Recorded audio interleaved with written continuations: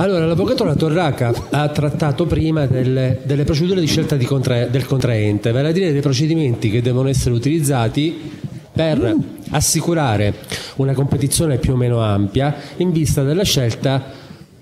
dell'aggiudicatario. Il, I criteri di scelta del contraente quindi sono in definitiva degli strumenti per arrivare alla, eh, all'individuazione di una platea di operatori che hanno i requisiti previsti dal bando di gara, tra i quali poi sulla base del, dei criteri di aggiudicazione verrà scelto l'aggiudicatario che ha presentato la migliore offerta. I criteri di aggiudicazione, ehm, non, non, rifaccio la storia che ha già fatto l'avvocato La Torraca per dire sostanzialmente che forse sono eh, quella, la parte del codice sulle quali l'atteggiamento culturale del legislatore ha, ha avuto maggiore influenza, nel senso che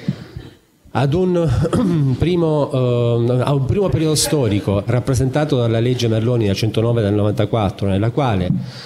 si mh, reputava come necessario, appunto a fini di contrasto uh, di, dei fenomeni corruttivi, che il criterio di aggiudicazione fosse quanto più possibile oggettivo e predeterminato e quindi in definitiva l'unico criterio possibile per escludere totale discrez- la discrezionalità nel, del, della stazione appaltante era dato dal criterio del minor prezzo ed era, come ricorderete, l'unico criterio ammissibile, se poi passati ad una fase successiva nella quale il criterio del minor prezzo, anche per effetto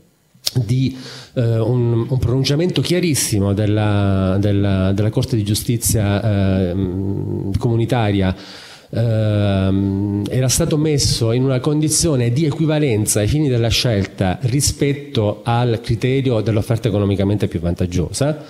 Ricordiamo che il codice del 2006 era entrato in vigore con una, ancora con una scelta che prioritariamente portava verso il minor prezzo. Successivamente, con una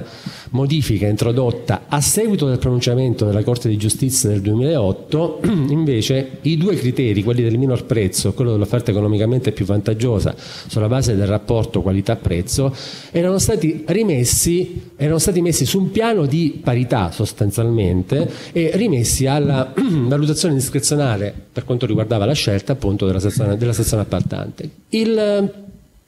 il codice nuovo invece eh, inverte totalmente il rapporto, nel senso che come criterio generale e prioritario da quello dell'offerta economicamente più vantaggiosa. Vediamo questa um, scelta chiaramente descritta nell'articolo 95,2. Eh, per ragioni sistematiche vi dico che le norme che disciplinano i criteri di aggiudicazione sono il 95, il 95, il 96 e il 97 nel, nel nuovo codice. L'articolo 95,2 stabilisce che le stazioni appaltanti, nel rispetto dei principi di trasparenza, di non discriminazione e di parità di trattamento, procedono all'aggiudicazione degli appalti e dei concorsi di idee, che comunque sempre appalti sono, quindi non si capisce manco la distinzione, sulla base del criterio dell'offerta economicamente più vantaggiosa, scusate, che può essere individuata sulla base del miglior rapporto qualità-prezzo o sulla base dell'elemento prezzo del costo, seguendo un criterio di comparazione costo-efficacia, quale il costo del ciclo di vita. Poi andiamo a vedere questa seconda parte che cosa significa, ma il principio che si ricava dall'articolo 95,2 è che il criterio generale e prioritario ai fini dell'affidamento degli appalti di lavori, servizi e forniture è quello dell'offerta economicamente più vantaggiosa e che il criterio invece residuale accessorio subordinato è quello del minor prezzo. Um, il criterio puramente economico poi del prezzo può fare riferimento a due diversi parametri alternativi. Il prezzo in senso proprio e quando parliamo di prezzo intendiamo il semplice corrispettivo del, eh, della fornitura, del servizio o del lavoro, oppure il costo. Il concetto di costo invece è un concetto che, che traiamo dalla letteratura economica e che guarda sostanzialmente al prezzo non come semplice corrispettivo per l'acquisto, ma come costo ehm, determinato attraverso la sommatoria di tutti i costi che il ciclo di vita del prodotto genera, dalla f- sua fase di progettazione alla fase di commercializzazione, alla fase successiva di manutenzione e addirittura la successiva fase di recupero e di smaltimento. L'ipotesi tipica, per esempio, ci ritorneremo magari per approfondire un po' l'argomento, è quello delle fotocopiatrici, dei prodotti legati all'informatica, che hanno talora un costo di smaltimento che addirittura è superiore al costo di acquisizione. L'introdurre nel nuovo codice il concetto del prezzo inteso come costo significa sostanzialmente determinare l'aggiudicatario e quindi la migliore offerta tenendo conto del costo complessivo del, del, del, prodotto che acquistiamo e non semplicemente del costo della transazione necessaria all'acquisto. Il, um, e l'altro parametro invece è quello del miglior rapporto qualità-prezzo e che come sapete conosciamo col termine econo- offerta economicamente più vantaggiosa. Um, accanto al, uh, al eh, cioè il, l'introduzione del criterio dell'offerta economicamente più vantaggiosa come criterio generale è poi accompagnato dall'indicazione di una serie di ipotesi in cui questo criterio deve essere necessariamente applicato. Si tratta di una serie di ipotesi contemplate dall'articolo 95,3 in cui eh, ha maggiore rilevanza l'elemento personale. L'elemento personale si intende non l'elemento soggettivo ma l'incidenza che su quegli appalti ha, uh, ha la manodopera essenzialmente. Si tratta dei contratti relativi ai servizi sociali che troviamo normati nell'articolo 140, i servizi di ristorazione ospedaliera, assistenziale e scolastica che troviamo normati nell'articolo 142 e 143 del codice e poi i servizi ad alta intensità di manodopera che vengono definiti dal codice stesso come quei servizi in cui l'incidenza della manodopera supera è pari o superiore al 50% dell'intero importo contrattuale. Un'altra tipologia di affidamenti per i quali il criterio dell'offerta economicamente più vantaggioso è obbligatorio è quello dei servizi attinenti all'architettura e all'ingegneria e altri servizi di natura tecnica e intellettuale che, il cui importo sia pari o superiore, secondo tra l'altro la modifica introdotta con il correttivo, a 40.000 euro. Um, il, invece, ai sensi del comma 4, vi sono dei casi in cui può essere scelto il luogo del criterio generale dell'offerta economicamente più vantaggiosa, quello del minor prezzo. Quali sono questi casi? Sono innanzitutto per quanto riguarda i lavori gli affidamenti che siano di importo pari o inferiore a 2 milioni di euro. Questo a condizione che l'affidamento dei lavori avvenga sulla base di un progetto esecutivo è che la stazione appaltante preveda nel bando di gara eh, la, eh, l'applicazione del, del, procedimento di esclusione automatica delle offerte anomale. Quindi devono ricorrere contemporaneamente queste due condizioni. Poi per i servizi delle forniture che hanno, che, con, che hanno, caratteristiche standardizzate o le cui condizioni sono definite dal mercato ed infine l'ultima ipotesi anche qui è, è intervenuto il correttivo di introdurre una soglia di 40.000 euro come soglia che per i servizi e le forniture consente il ricorso al, al criterio del minor prezzo e invece per, forn- per, le forniture e servizi che sono di importo pari o superiore a 40.000 euro fi- fino alla soglia comunitaria, a condizione però che siano caratterizzati dal carattere dell'elevata ripetitività e con l'eccezione, nonostante siano ripetitivi, dei degli affidamenti relativi a prodotti o a servizi che abbiano contenuto innova- carattere innovativo o contenuto o notevole contenuto tecnologico. Um, mi fermo un attimo eh, cercando di rimanere in tempi dignitosi su alcune questioni che nell'applicazione, e sono tante purtroppo, che nell'applicazione di questa norma sono sorte. In primo luogo per quanto riguarda la scelta dell'uno o dell'altro criterio. Il, la circostanza che volevo permettervi che, sulla, che sulla, uh, su questa parte è intervenuta uh, l'ANAC con delle linee guida che non hanno carattere vincolante, quindi ma solamente carattere orientativo al fine di introdurre, di raccomandare delle, delle best practice nella materia dell'offerta economicamente più vantaggiosa, ma ovviamente la ricostruzione del contesto normativo in cui quelle linee guida si inserivano ha consentito all'ANAC di dare precise indicazioni anche per quanto riguarda la scelta dei due criteri. Allora, la circostanza che l'articolo 95, 2 ehm, utilizzi il termine può scegliere, la stazione appaltante può scegliere il criterio del minor prezzo, ha ovviamente indotto a dire l'ANAC, ma anche la giurisprudenza, come andremo poi a vedere, che essendo la scelta frutto di, una, di un potere discrezionale che l'amministrazione esercita, questa scelta deve essere puntualmente e adeguatamente motivata. Questo soprattutto a ragione del fatto che il criterio del minor prezzo comunque costituisce una scelta che è eccezionale, derogatoria, subordinata rispetto alla scelta del criterio generale che abbiamo detto è quello dell'offerta economicamente più vantaggiosa. Ma questo perché, cogliendo anche lo spirito della novità che il legislatore introduce, Vale a dire la scelta come criterio generale e prioritario dell'offerta economicamente più vantaggiosa è legata ad una direttrice eh, ideale che caratterizza diversi istituti eh, mh, caratterizzati da novità del, co da, del codice e che vanno per esempio dalla qualificazione delle stazioni appaltanti al nuovo ruolo rinforzato che RUP assume ehm, ad altri interventi che spingono sostanzialmente ad elevare la qualità degli affidamenti delle pubbliche amministrazioni. Elevare la qualità degli affidamenti delle pubbliche amministrazioni significa sostanzialmente che cosa? Scegliere tra i vari criteri di aggiudicazione quello che fa cogliere meglio il merito tecnico, la qualità, l'innovatività delle proposte, delle proposte, delle offerte che vengono acquisite in sede di gara.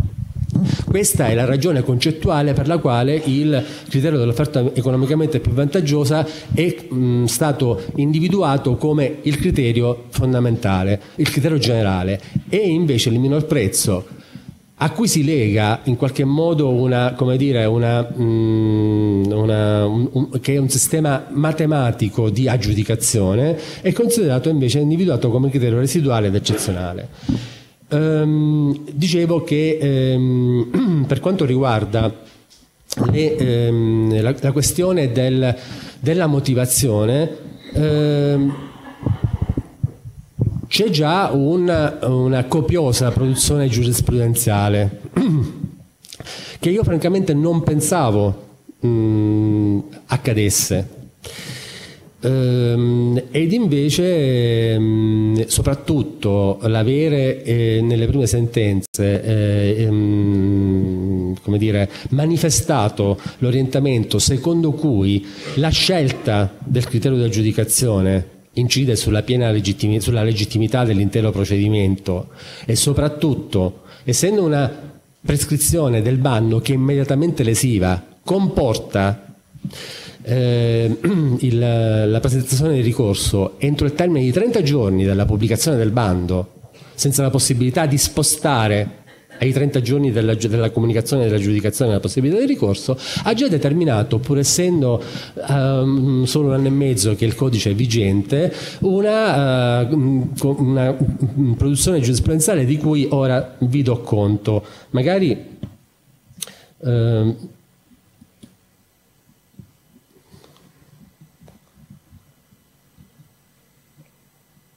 in maniera non del tutto diciamo, coordinata. Mm,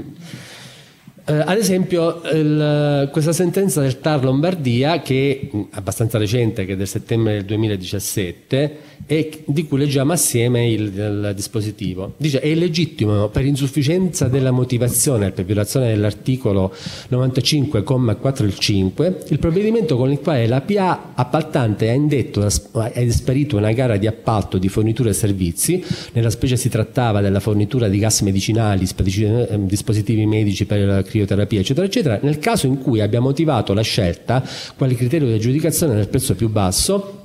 facendo esclusivamente riferimento alla standardizzazione delle prestazioni pretese, nonché alla richiesta appena di esclusione del cer della certificazione di qualità aziendale. Infatti il ricorso da parte della stazione appaltante al criterio di aggiudicazione del prezzo più basso costituisce una facoltà e non un obbligo per la stazione appaltante, frutto di una scelta discrezionale che deve essere congruamente motivata. Ecco, questa è una prima sentenza, vediamo, ne possiamo vedere anche altre, eh, vedete per esempio questa sentenza del Tar Basilicata, sezione prima, in cui si dice è illeg- ehm, anche questa molto molto recente, scusatemi ma non sono riuscito a fare i collegamenti, cioè ero riuscito ieri a fare i collegamenti test- ipertestuali, poi ho recuperato il file e, e siccome come ricordava stamattina l'avvocato La Torraca io sono, appartengo all'era analogica delle candele vergini e non a quella digitale, l'operazione di copiatura non mi è riuscita, quindi dobbiamo, ci attrezziamo in questo modo. Quindi il, anche questa sentenza è coeva all'atta del TAR eh, Lombardo e dice è illegittimo il provvedimento con il quale l'APA appaltante ha indetto una gara per l'affidamento di un appalto di servizi, nella specie si trattava del servizio di pulizia, sanificazione ed ausiliariato, nella parte in cui nonostante che si tratti di un appalto cosiddetto ad alta intensità di manodopera abbia scelto quale criterio di aggiudicazione quello del massimo ribasso. In forza di quanto previsto nell'articolo 95, nel caso di appalti di servizi ad alta intensità di manodopera, va osservato come criterio direttivo quello dell'offerta economicamente più vantaggiosa, escludendo in ogni caso l'applicazione del solo criterio del prezzo del costo inteso come criterio del prezzo più basso. Ora questa sentenza prende un altro aspetto di cui parlerò dopo, che è quello del rapporto tra il comma 3 e il comma 4 dello stesso articolo 95. In ogni caso, anche in questa sentenza viene sottolineata l'esigenza di una puntuale e rigorosa motivazione sulla scelta del criterio del minor prezzo rispetto a quello dell'offerta economicamente più vantaggiosa, che non può limitarsi, dice l'ANAC e la giurisprudenza, all'indicazione apodittica della norma di legge che lo consente, ma deve essere accompagnata dall'indicazione di tutti gli elementi fattuali e puntuali che manifestano eh, appunto concretamente le ragioni, l'esistenza delle ragioni per le quali io scelgo un criterio che ha carattere eccezionale rispetto al criterio generale voluto appunto dal legislatore del nuovo codice. Eh, Cosa si intende? Questo eh, serve a fare il passo immediatamente successivo nell'esposizione per eh, forniture, per servizi e forniture con carattere standardizzato o le cui condizioni sono definite dal mercato. Ci, aiuta ci aiutano le linee guida numero 2 di ANAC a dare una definizione diciamo compiuta ehm, l'espressione è tratta proprio dalle linee guida numero 2 quindi possiamo leggerle assieme perché è anche di facile, di facile intuizione e comprensione. Quindi devono intendersi per forniture con caratteristiche standardizzate le cui condizioni sono definite dal mercato quei servizi o forniture che anche con riferimento anzi direi soprattutto con riferimento alla prassi produttiva sviluppatasi nel mercato di riferimento non sono modificabili su richiesta della stazione appaltante oppure rispondono a determinate norme nazionali, europee e internazionali. La ragione per cui in questo caso la norma consente di scegliere il criterio del minor prezzo è di facile intuizione, vale a dire non ha senso obbligare la stazione appaltante a ricorrere ad un criterio di aggiudicazione, quale quello dell'offerta economicamente più vantaggiosa, che è impegnativo, dispendioso, ehm, defatigante per certi versi quando tante sono le offerte presentate, quando poi non ci sono spazi di miglioramento effettivo nel prodotto che ti offrono, nel servizio che ti offrono, perché i prodotti che si trovano sul mercato, in quanto standardizzati, hanno tutte le medesime caratteristiche eh, eh non suscettibili di miglioramento su richiesta della stazione appaltante. Allora, in questo caso il legislatore dice, essendo il mercato costruito eh, o, o um, caratterizzato da prodotti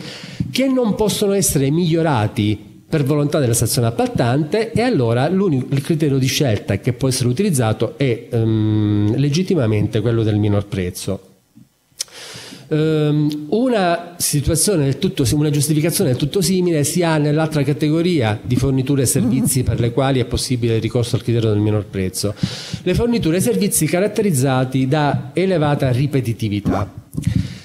Quali sono? Quelli che ovviamente che soddisfano esigenze di funzionamento dell'amministrazione che hanno carattere continuo, si tratta dei contratti di somministrazione di prodotti che utilizziamo, di beni o servizi che utilizziamo per far quando la mattina entriamo in comune o in provincia, apriamo, il tutto funziona perché abbiamo una serie di contratti di somministrazione, come dire, senza i quali non sarebbe possibile nemmeno erogare i servizi alla collettività. Um, questo è il campo di applicazione di questa norma. Faccio riferimento ai contratti per la fornitura del toner piuttosto che ai contratti per la fornitura della carta per le fotocopiatrici, insomma, tutti i contratti della carta igienica. Vogliamo andare in un campo non. Ecco, per dire, anche quello di, da, da, quello dipende il funzionamento del, delle stazioni appaltanti. Ehm, la, ehm, abbiamo detto dell'obbligo rigoroso di motivazione, però eh, ritorno a questo proposito sulle sentenze. Perché? Perché il, la discrezionalità che ha eh, ehm, dato il codice e che noi ipotizziamo di esercitare è in effetti una discrezionalità che esercitiamo falsamente, nel senso che la discrezionalità nostra in definitiva viene poi esercitata, questo ce lo possiamo, da operatori del diritto possiamo riconoscercelo, dal giudice che viene a valutare come abbiamo operato la scelta. Il fatto che la motivazione che dobbiamo esporre è congrua debba essere congrua, debba essere puntuale, debba essere ragionevole e che la, che, che la, la giustizia amministrativa, il giudice amministrativo abbia un limite nel sindacare le nostre scelte, che è legato a quello della ragionevolezza, dell'adeguatezza della motivazione, a volte costituisce un grimaldello che mi è capitato di vedere molti giudici usano per rifare la scelta. La dimostrazione assoluta di quello che vi sto dicendo è data dalla comparazione di queste due sentenze. Allora, parliamo di un l'affidamento di un servizio che sicuramente ha carattere ripetitivo, cioè ogni eh, ente eh, dispone di un parco macchine più o meno ampio. Ora, queste, questo parco macchine è soggetto ad attività di manutenzione che hanno, ora la leggiamo assieme, ehm, perché, perché, è interessante. Magari non faccio un'esposizione fino all'una um, man, da, manualistica, da manuali, manualistica, ma volevo approfondire alcuni aspetti che sono, di, ripeto, di particolare interesse in questo momento. Quindi ogni mh, ente ha un parco macchine in dotazione. Questo parco macchine richiede interventi manutentivi di carattere banale, ad esempio i tagliandi, le revisioni mm. eh, biennali. Eh, l'approccio che abbiamo avuto tutti è nel ritenere che queste attività manutentive siano sicuramente caratterizzate da elevata ripetitività e quindi se stanno al di sotto della soglia comunitaria consentono il ricorso al minor prezzo. Parto da un'altra sentenza, scusatemi, spero di averla. Ecco qua, è questa. Quindi il 18 dicembre del 2017 arriva questa sentenza che da del TAR Lombardia, eh, della sezione bresciana, e che dice è illegittimo un bando per l'affidamento del servizio di manutenzione degli automezzi di UNASL, in questo caso, comprensivo di prestazioni d'opera di carrozziere, elettrauto, gommista e meccanico, nella parte in cui, senza indicazione di alcuna specifica motivazione, prevede quale criterio di aggiudicazione quello del prezzo più basso piuttosto che quello dell'offerta economicamente più vantaggiosa. Atteso che il suddetto servizio rientra appieno nella declaratoria di quell'articolo 95,3 lettera B e pertanto deve essere aggiudicato secondo il criterio dell'offerta economicamente più vantaggiosa. Questo cosa significa? Che intendono questo servizio come caratterizzato da elevato contenuto tecnologico ed infatti ho mantenuto la sintesi, sono tratte dall'ex Italia questo, questi, questi, questi, documenti, quindi ci sono anche delle, delle, delle sintesi interessanti. Ha osservato la sentenza, la sentenza rassegna che nella fattispecie la prestazione richiesta rivela natura complessa, pur essendo caratterizzata da marcati tratti di standardizzazione e predeterminazione quanto alle procedure di intervento e all'impiego degli occorrenti materiali ed involge, soprattutto per quanto concerne la cosiddetta manutenzione straordinaria, ad esempio da questo punto di vista la sentenza incorre in un errore, cioè mh, sui beni eh, che non siano beni immobili il concetto di manutenzione straordinaria non esiste non esiste né a fini contabili né a fini tecnici, è, è solo manutenzione, cioè che io faccia su un computer un intervento di aggiustamento o un intervento di sostituzione mm. di un pezzo di ricambio non cambia nulla ai fini della qualificazione dell'intervento, non è manutenzione straordinaria una e manutenzione ordinaria l'altra. In sostanza dice che cosa? Che l'intervento per fare un uh, tagliando, il tagliando è un'opera di alta ingegneria meccanica.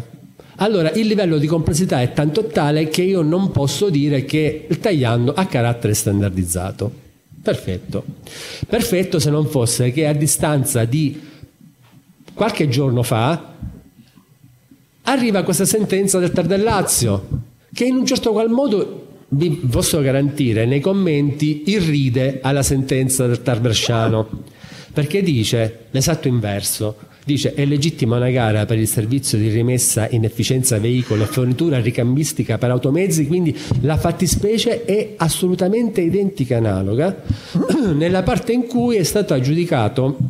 eh, individuato quale metodo di aggiudicazione il criterio del minor prezzo ai sensi dell'articolo 95,4 lettera C. Infatti gli interventi di manutenzione e revisione periodica degli automezzi hanno le caratteristiche di standardizzazione e ripetitività, ma cosa avevamo detto fino a un minuto fa? Lo stesso principio, rispetto alle quali gli elementi della manodopera e dell'aspetto tecnologico indubbiamente presenti nello svolgimento del servizio si pongono comunque quale voci inferiori, essendo l'elemento prevalente determinante rappresentato nell'appatto in questione dal costo dei pezzi di ricambio aventi caratteristiche fisse e standard con prezzi conosciuti e fissati dai tariffi dai tariffari di mercato. La, la, notazione che fa facendo riferimento tra l'altro alla sentenza del TAR del Lazio conosce della precedente sentenza del TAR di, Brescia e la critica anche con qualche aspetto come dire ironico vi invito a leggerla perché io non ho, non, non, non riportata tutta perché mh, se ne ricava il principio, cioè sì, va bene che mm. magari l'intervento è particolarmente complesso, ma non è un intervento di alta ingegneria meccanica o non è un intervento a cuore aperto di alta chirurgia, è un tagliando, un tagliando. Lo farà, il tagliando lo eseguirà anche con l'impiego di strumenti, come dire, elettronici di diagnosi, ma sono alla portata ormai di qualunque operatore. Ora, ad esempio, in questo conflitto, come ci si orienta? Eh, per quello che può essere la mia valutazione, ha ragione il Tardellazio, cioè nel senso che quella norma, lo spirito di quella norma che consentiva, che consente di fare ricorso al minor prezzo in ragione del carattere ripetitivo dei, dei contratti che affidiamo, è una norma di semplificazione. Quindi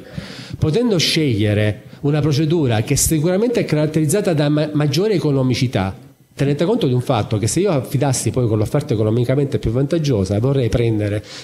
il, il, il collegio del TAR di Brescia e dire quali elementi Inseri, quali criteri di valutazione dell'offerta inserisco ai fini di dare un punteggio che ricordatevi deve essere pari ad almeno a 70 cioè, io porto l'autovettura per sostituire dei pezzi di ricambio, i 70 punti come li costruisco? Non ci vuole un, um, un, tecnico, non ci vuole una posizione organizzativa, non ci vuole un dirigente, ci vuole un mago, perché lì siamo all'invenzione pura, perché 70 punti per fare un tagliando io non saprei come costruirli. Se siamo tutti operatori del, del settore, chi più o chi meno, ci rendiamo conto. Ovviamente chi ha maggiore ehm, probabilmente invece nel collegio del Lazio c'era qualcuno che aveva in qualche modo vissuto un'esperienza come vittima e non come, come, carnefice e da vittima si è ricordato, si è detto ma io come avrei fatto un appalto di questo genere? 70 punti per un'attività di manutenzione che ha carattere rutinario non li costruiamo perché l'unica possibilità sarebbe quello di dire privilegio i prodotti di, di, quella marca, cosa che non possiamo fare, oppure privilegio i prodotti ehm, ad alta eh, qualificazione ambientale come prodotti ecolabel. Ma sarebbe un unico criterio, non ne, non ne vedo altri, non ne vedo altri.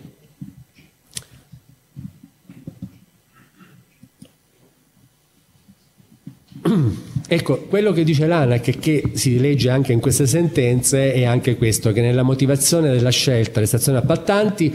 devono indicare il riferimento alla ovviamente alla norma di legge che consente di scegliere il criterio del prezzo più basso, quindi l'articolo 95,3 nel caso specifico, però devono anche dire che la scelta del prezzo più basso non avvantaggia un determinato fornitore perché per esempio abbiamo considerato standardizzate delle caratteristiche che invece non lo sono, che è un po' il ragionamento che fa proprio il TAR ehm, di Brescia in quella, in quella sentenza cui, che abbiamo letto assieme. Um, ovviamente sul tema dell'aver introdotto come criterio prevalente eh, come criterio generale quello dell'offerta economicamente più vantaggiosa rispetto a quello del eh, minor prezzo, incombe sempre la pronuncia della Corte di Giustizia di cui vi parlavo poco fa. La Corte di Giustizia sostanzialmente era intervenuta su un assetto che era quello re, introdotto dal codice dei contratti che invece privilegiava il criterio del minor prezzo dicendo eh no cara Italia, tu non puoi fare questa eh, distinzione, ma devi attribuire discrezionalità piena alle stazioni appaltanti che devono essere poste nella condizione di scegliere l'uno o l'altro criterio in relazione a, che, a quella che è la natura dell'affidamento, le caratteristiche del prodotto della fornitura che intendono richiedere e le altre esigenze particolari connesse ai bisogni che la pubblica amministrazione appaltante intende soddisfare.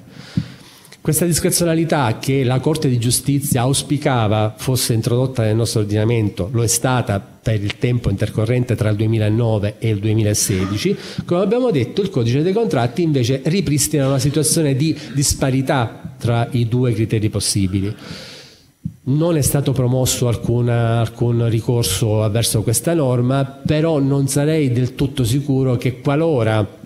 la questione venisse riproposta dinanzi alla Corte di Giustizia della Comunità Europea, il sistema prescelto, eh, come dire, la scelta fatta dal legislatore del 2016 ehm, sia ritenuta conforme alle, alle norme del trattato. Um,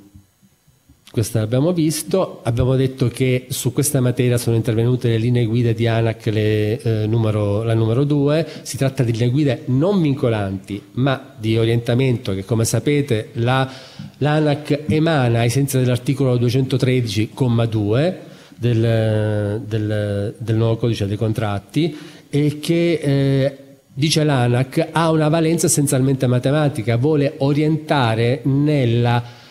gestione dei criteri di aggiudicazione visti dal punto di vista eh, della costruzione della griglia dei criteri di valutazione, della determinazione dei punteggi e dei criteri con cui i punteggi vengono poi attribuiti ai fini della formazione della graduatoria finale. In effetti così non è perché la, le linee guida di ANAC, ripeto, ricostruiscono il contesto anche dal punto di vista normativo e danno indicazioni che sono di tipo, di tipo prettamente giuridico e non solo matematico. Abbiamo detto che vengono aggiudicati esclusivamente sulla base del eh, criterio dell'offerta economicamente più vantaggiosa i contratti relativi ai servizi sociali, ristorazione ospedaliera assistenziale scolastica, nonché i contratti ad alta intensità di manodopera e poi i contratti relativi all'affidamento dei servizi di ingegneria e gli altri contratti di natura intellettuale purché di importo pari o superiore a 40.000 euro. Ora abbiamo visto quindi eh, che ehm, questo è un caso in cui l'adozione del criterio dell'offerta economicamente più vantaggiosa è considerato come obbligatorio. Abbiamo visto che però ai sensi del comma 4 vi sono dei casi in cui invece il minor prezzo è consentito per le forniture con caratteristiche standardizzate e per quelli caratterizzati da ripetitività. Cosa succede nell'ipotesi in cui il contratto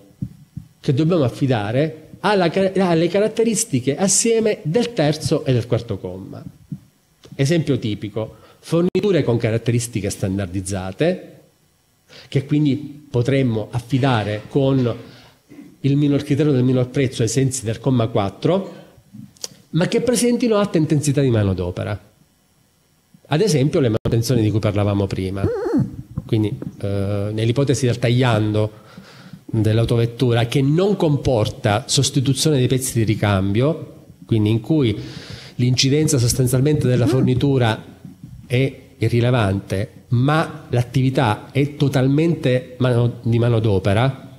e quindi supera il 50%, quale criterio applichiamo? applichiamo,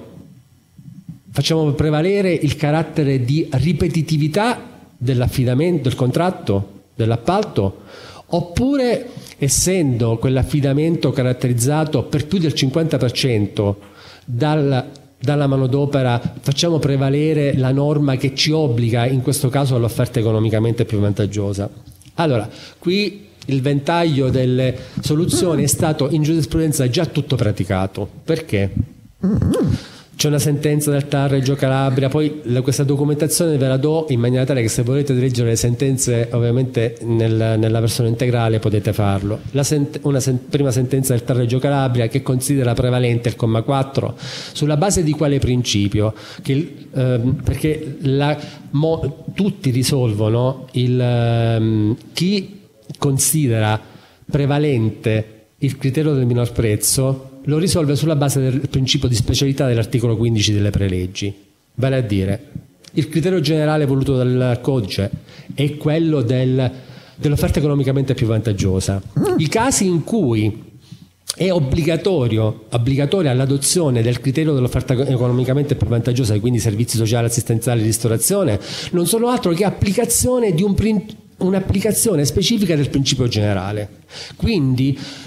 non è questa norma speciale, ma la norma speciale è quella del comma 4 in cui si dice che in deroga al principio generale dell'offerta economicamente più vantaggiosa si può ricorrere al criterio del minor prezzo quando la fornitura, il servizio ha caratteristiche standardizzate, ovvero nell'ipotesi in cui caratterizz sia caratterizzato da elevata ripetitività. Il rapporto tra norma generale e norma speciale porta a considerare prevalente, ai sensi dell'articolo 15 delle preleggi, la norma speciale e quindi a considerare praticabile il minor prezzo. Questo principio applicano la sentenza del TAR mh, mm, di Reggio, um, Reggio Calabria della 166 del 2017 e sia pure con qualche sfumatura diversa perché dice ah ma bisogna in concreto verificare se siano com complementari eccetera eccetera anche la sentenza del TAR Abruzzo eh, del gennaio 2017 era numero 30 la sentenza del TAR del Lazio invece aderisce del 13 dicembre 2016 considera prevalente il comma 3 perché dice in questo caso non è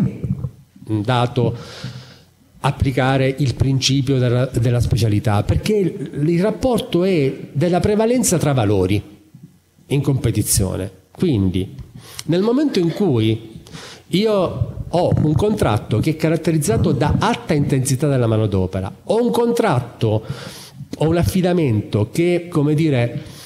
eh, è diretto a soddisfare i bisogni ad alta sensibilità eh, collettiva, quali sono i servizi, della, i servizi sociali, la ristorazione assistenziale collettiva, eccetera, eccetera, devono far prevalere valori, il valore della tutela della manodopera. Quindi il comma, 4, il comma 3 automaticamente diventa prevalente sul comma 4. Questo orientamento ha proprio recentissimamente ehm, avuto l'avallo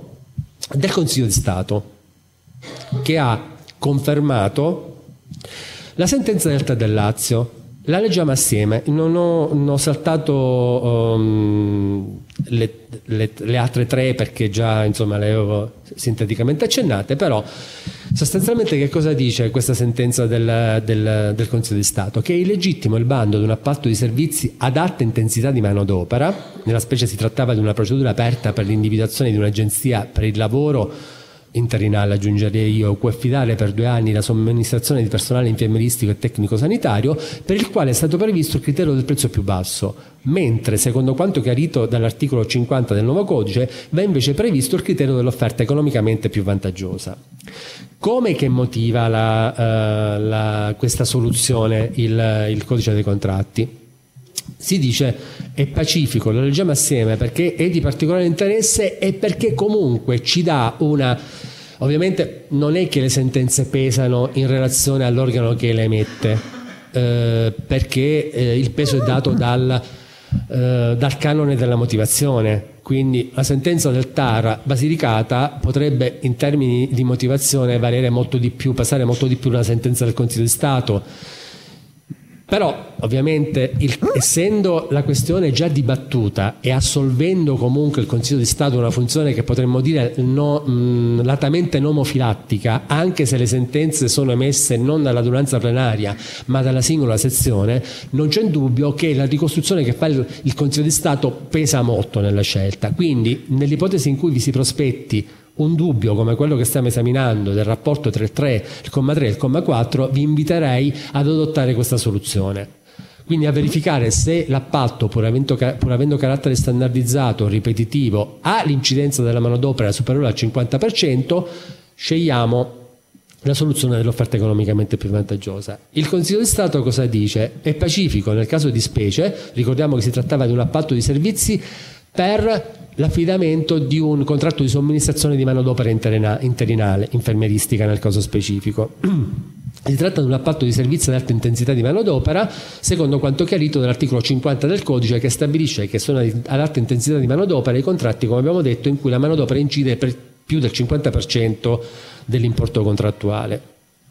L'amministrazione in questo caso che cosa aveva ritenuto? Che essendo la fornitura di personale una fornitura che ha carattere continuativo, ripetitivo e che comunque sta all'interno della standardizzazione, perché un infermiere è un infermiere, non è che io posso migliorarlo nell'offerta tecnica. Eh, banalizzo, scusatemi se banalizzo la questione, ma così è. Ehm, la, la, il Consiglio di Stato dice l'assunto è radicalmente erroneo. Il rapporto nell'ambito dell'articolo 35, eh, nell'articolo 95,3, casi di esclusivo utilizzo dell'offerta economicamente più vantaggiosa, e del comma 4, casi di cui in cui è possibile l'utilizzo del minor prezzo, tra i quali quello di servizi ripetitivi e di specie a genere. Riporta il concetto sul rapporto di specie a genere. Però dice, ove ricorrono le fattispecie di cui al comma 3, scatta un obbligo speciale di adozione del criterio dell'offerta economicamente più vantaggiosa, che a differenza dell'ordinaria preferenza per tale criterio fatta in via generale dal codice, non ammette deroghe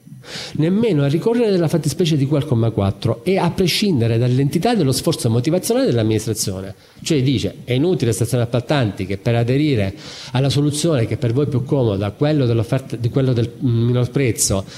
vi arrampicate sui vetri, vi arrampicate sugli specchi per cercare delle motivazioni, perché il fatto che la, non la legge, il codice dei contratti, ma la direttiva comunitaria da cui questa norma promana abbia utilizzato il termine esclusivamente, cioè gli appalti ad alta intensità di manodopera possono essere aggiudicati esclusivamente attraverso il criterio dell'offerta economicamente più vantaggiosa, non rende possibile il ricorso alternativo al criterio del minor prezzo. Questa è la chiave di lettura e io ritengo che sia una chiave di lettura corretta.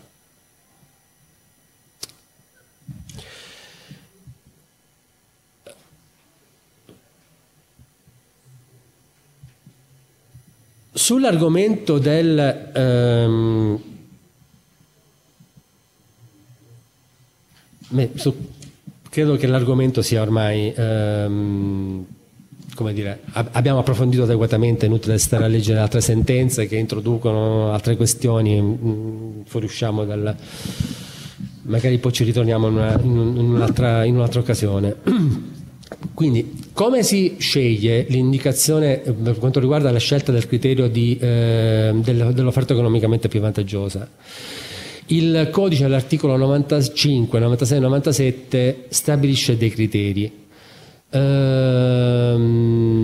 dei criteri che sono eh, l'applicazione dei principi di eh, trasparenza, del principio di parità di trattamento e del principio di non discriminazione che sono assunti dalla direttiva comunitaria come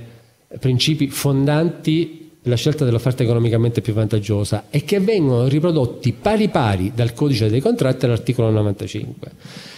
Questi tre criteri che cos'è che impongono? Impongono che innanzitutto la, mm, gli elementi che io scelgo per valutare l'offerta economicamente più vantaggiosa devono essere strettamente, i criteri devono essere strettamente inerenti alla natura all'oggetto dell'appalto. Perché indicare dei criteri che sono estranei all'oggetto dell'appalto o che sono accessori rispetto a quello che è la natura dell'appalto significa sostanzialmente operare una eh, scelta dell'offerta che si caratterizza per violazione del principio di discriminazione. Cioè, vale a dire, io vado a valutare, a, a scegliere l'aggiudicatario che mi offre, ehm, che mi fa un'offerta i cui parametri non migliorano il contenuto qualitativo del bando del capitolato che io ho messo in gara.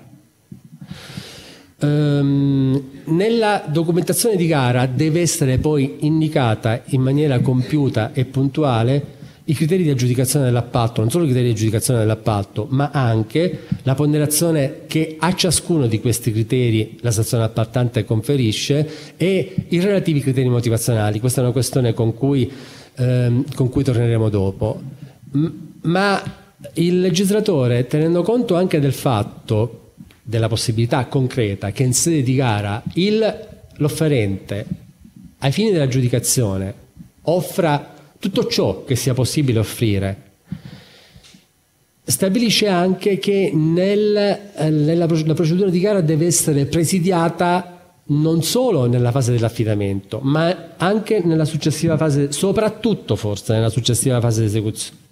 esecuzione, attraverso delle procedure che garantiscono il cosiddetto controllo di qualità, vale a dire che al momento dell'esecuzione del contratto, il contraente che si è aggiudicato la gara offrendo il meglio, poi dia effettivamente questo meglio che ha offerto. Scusatemi, il, forse il, la, la, terminologia non proprio, non, non, non proprio eh, adeguata. Um, quali sono i criteri che possono essere scelti per strutturare eh, l'offerta economicamente più vantaggiosa. Questa? Sì.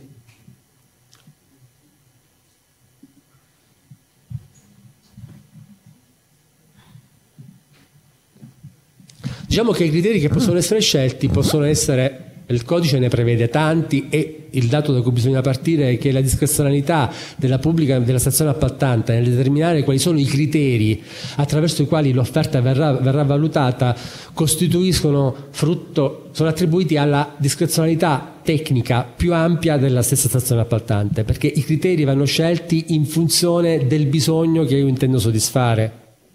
e di come io voglio sollecitare il mercato attraverso la presentazione di offerte che dal punto di vista qualitativo incrementino le prescrizioni tecniche minime che io ho inserito nel capitolato speciale d'appalto, perché l'offerta economicamente più vantaggiosa fondamentalmente a questo serve, a strutturare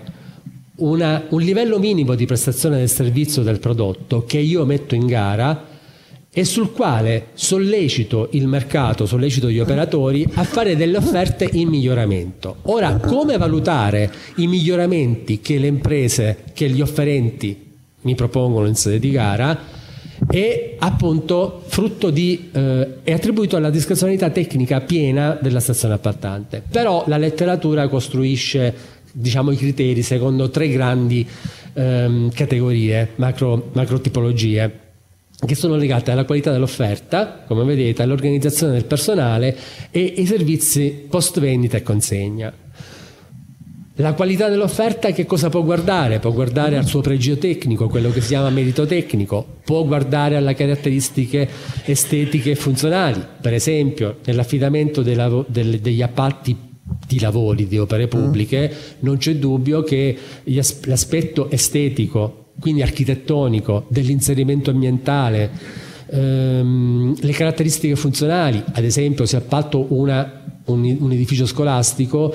il, ehm, il, l'offerta posso premiare, anzi dovrò premiare, considerando quali sono le linee guida in, maniera, in, maniera, in, materia di progettazione delle scuole, l'offerta che mi garantisce maggiore flessibilità nell'utilizzo della struttura, anche considerando eh, le, eh, dire, le, grandi variazioni demografiche che nella popolazione studentesca si sono verificate nell'ultimo periodo, negli ultimi 30 anni. Poi le caratteristiche, le caratteristiche, sociali e ambientali innovative di cui eh, parlerà eh, l'avvocato Barbera, la commercializzazione e le relative condizioni. Altro criterio da poter utilizzare e che di particolare interesse soprattutto per quanto riguarda i servizi e le forniture più che per, riguarda, più che per i lavori è, quelli, è quello dei, eh, delle, dei servizi che, dire, che seguono la fase di consegna del prodotto e di installazione del prodotto e che sono le garanzie che vengono offerte ehm, per gli interventi di carattere manutentivo, per le riparazioni successivamente al prodotto, in generale sostanzialmente quello che eh, si chiama assistenza tecnica e assistenza manutentiva post consegna mm. e che riguarda la fase esecutiva del, del, del contratto. Molto spinge, qui faccio solamente un'indicazione, il nuovo codice nell'articolo 97 spinge molto sui cosiddetti criteri ambientali, con la possibilità quindi di valutare l'offerta attribuendo un punteggio specifico al, ad esempio al possesso di, mar- di, un marchio di qualità ecologica dell'Unione Europea, Ecolabel eh, OE, quando però ehm, l'offerta presenti questi prodotti in misura pari o superiore al 30% del valore delle forniture e prestazioni oggetto del contratto. Ad esempio, mm. tipico è richiedere attribuire un punteggio ai, alle, alle offerte che presentino queste caratteristiche negli appalti per i servizi di pulizia, dove si impiegano i prodotti detergenti, molti dei quali ormai sono assistiti da prodotti Ecolabel. Importante è per esempio richiedere questo, questo requisito, questo, non questo requisito, premiare questa caratteristica delle offerte nei servizi di ristorazione.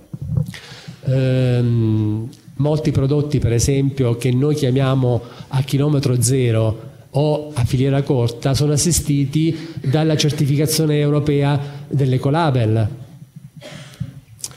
Um, poi anche il costo di utilizzazione e manutenzione ha avuto, anche, ha avuto riguardo ovviamente questa parte qui sarà, ripeto, approfondita più in dettaglio dalla, dalla, dall'avvocato Barbera. Uh, il discorso comunque è che questi criteri vanno individuati, progettati, pensati già nel momento in cui si costruisce il capitolato d'appalto. Posso, la, di, la, cosiddetta griglia di valutazione non può essere pensata a valle della costruzione del capitolato, ma la devo pensare in maniera coeva. Perché? Nel capitolato io esprimo, individuo i bisogni che la stazione appaltante intende soddisfare e in relazione a questi bisogni io devo necessariamente graduare i criteri con cui valuterò l'offerta che questi bisogni andranno a soddisfare. Quindi nel momento in cui io devo progettare un edificio, che può essere, facciamo riferimento nuovamente alla, alla scuola, eh, devo comprendere quali sono Uh, esattamente, oltre al bisogno che è quello ovviamente di avere un edificio scolastico che è a norma, applicando le norme tecniche in materia di costruzione di edifici scolastici, quali altri interessi, quali altri bisogni aggiuntivi intendo soddisfare, che possono essere legati ad esempio all'inserimento estetico nel contesto urbano in cui inserisco l'opera. E quindi far prevalere nella valutazione, attribuendo un punteggio maggiorato, agli aspetti dell'inserimento, dell'inserimento architettonico, agli aspetti dell'inserimento eh, ambientale, come dicevo prima, agli aspetti legati alla, all'utilizzo dell'opera e quindi alla maggiore o minore flessibilità nel progetto di distribuzione degli spazi interni. Tutto questo io devo pensarlo nel momento in cui strutturo il progetto, nel momento in cui strutturo il capitolato, perché rinviarlo a dopo significa magari ex post creare dei criteri che non sono eh, propriamente pertinenti all'oggetto dell'appalto. Um, un altro dei criteri possibili, e qui introduciamo un punto su cui il codice apporta sicuramente delle novità,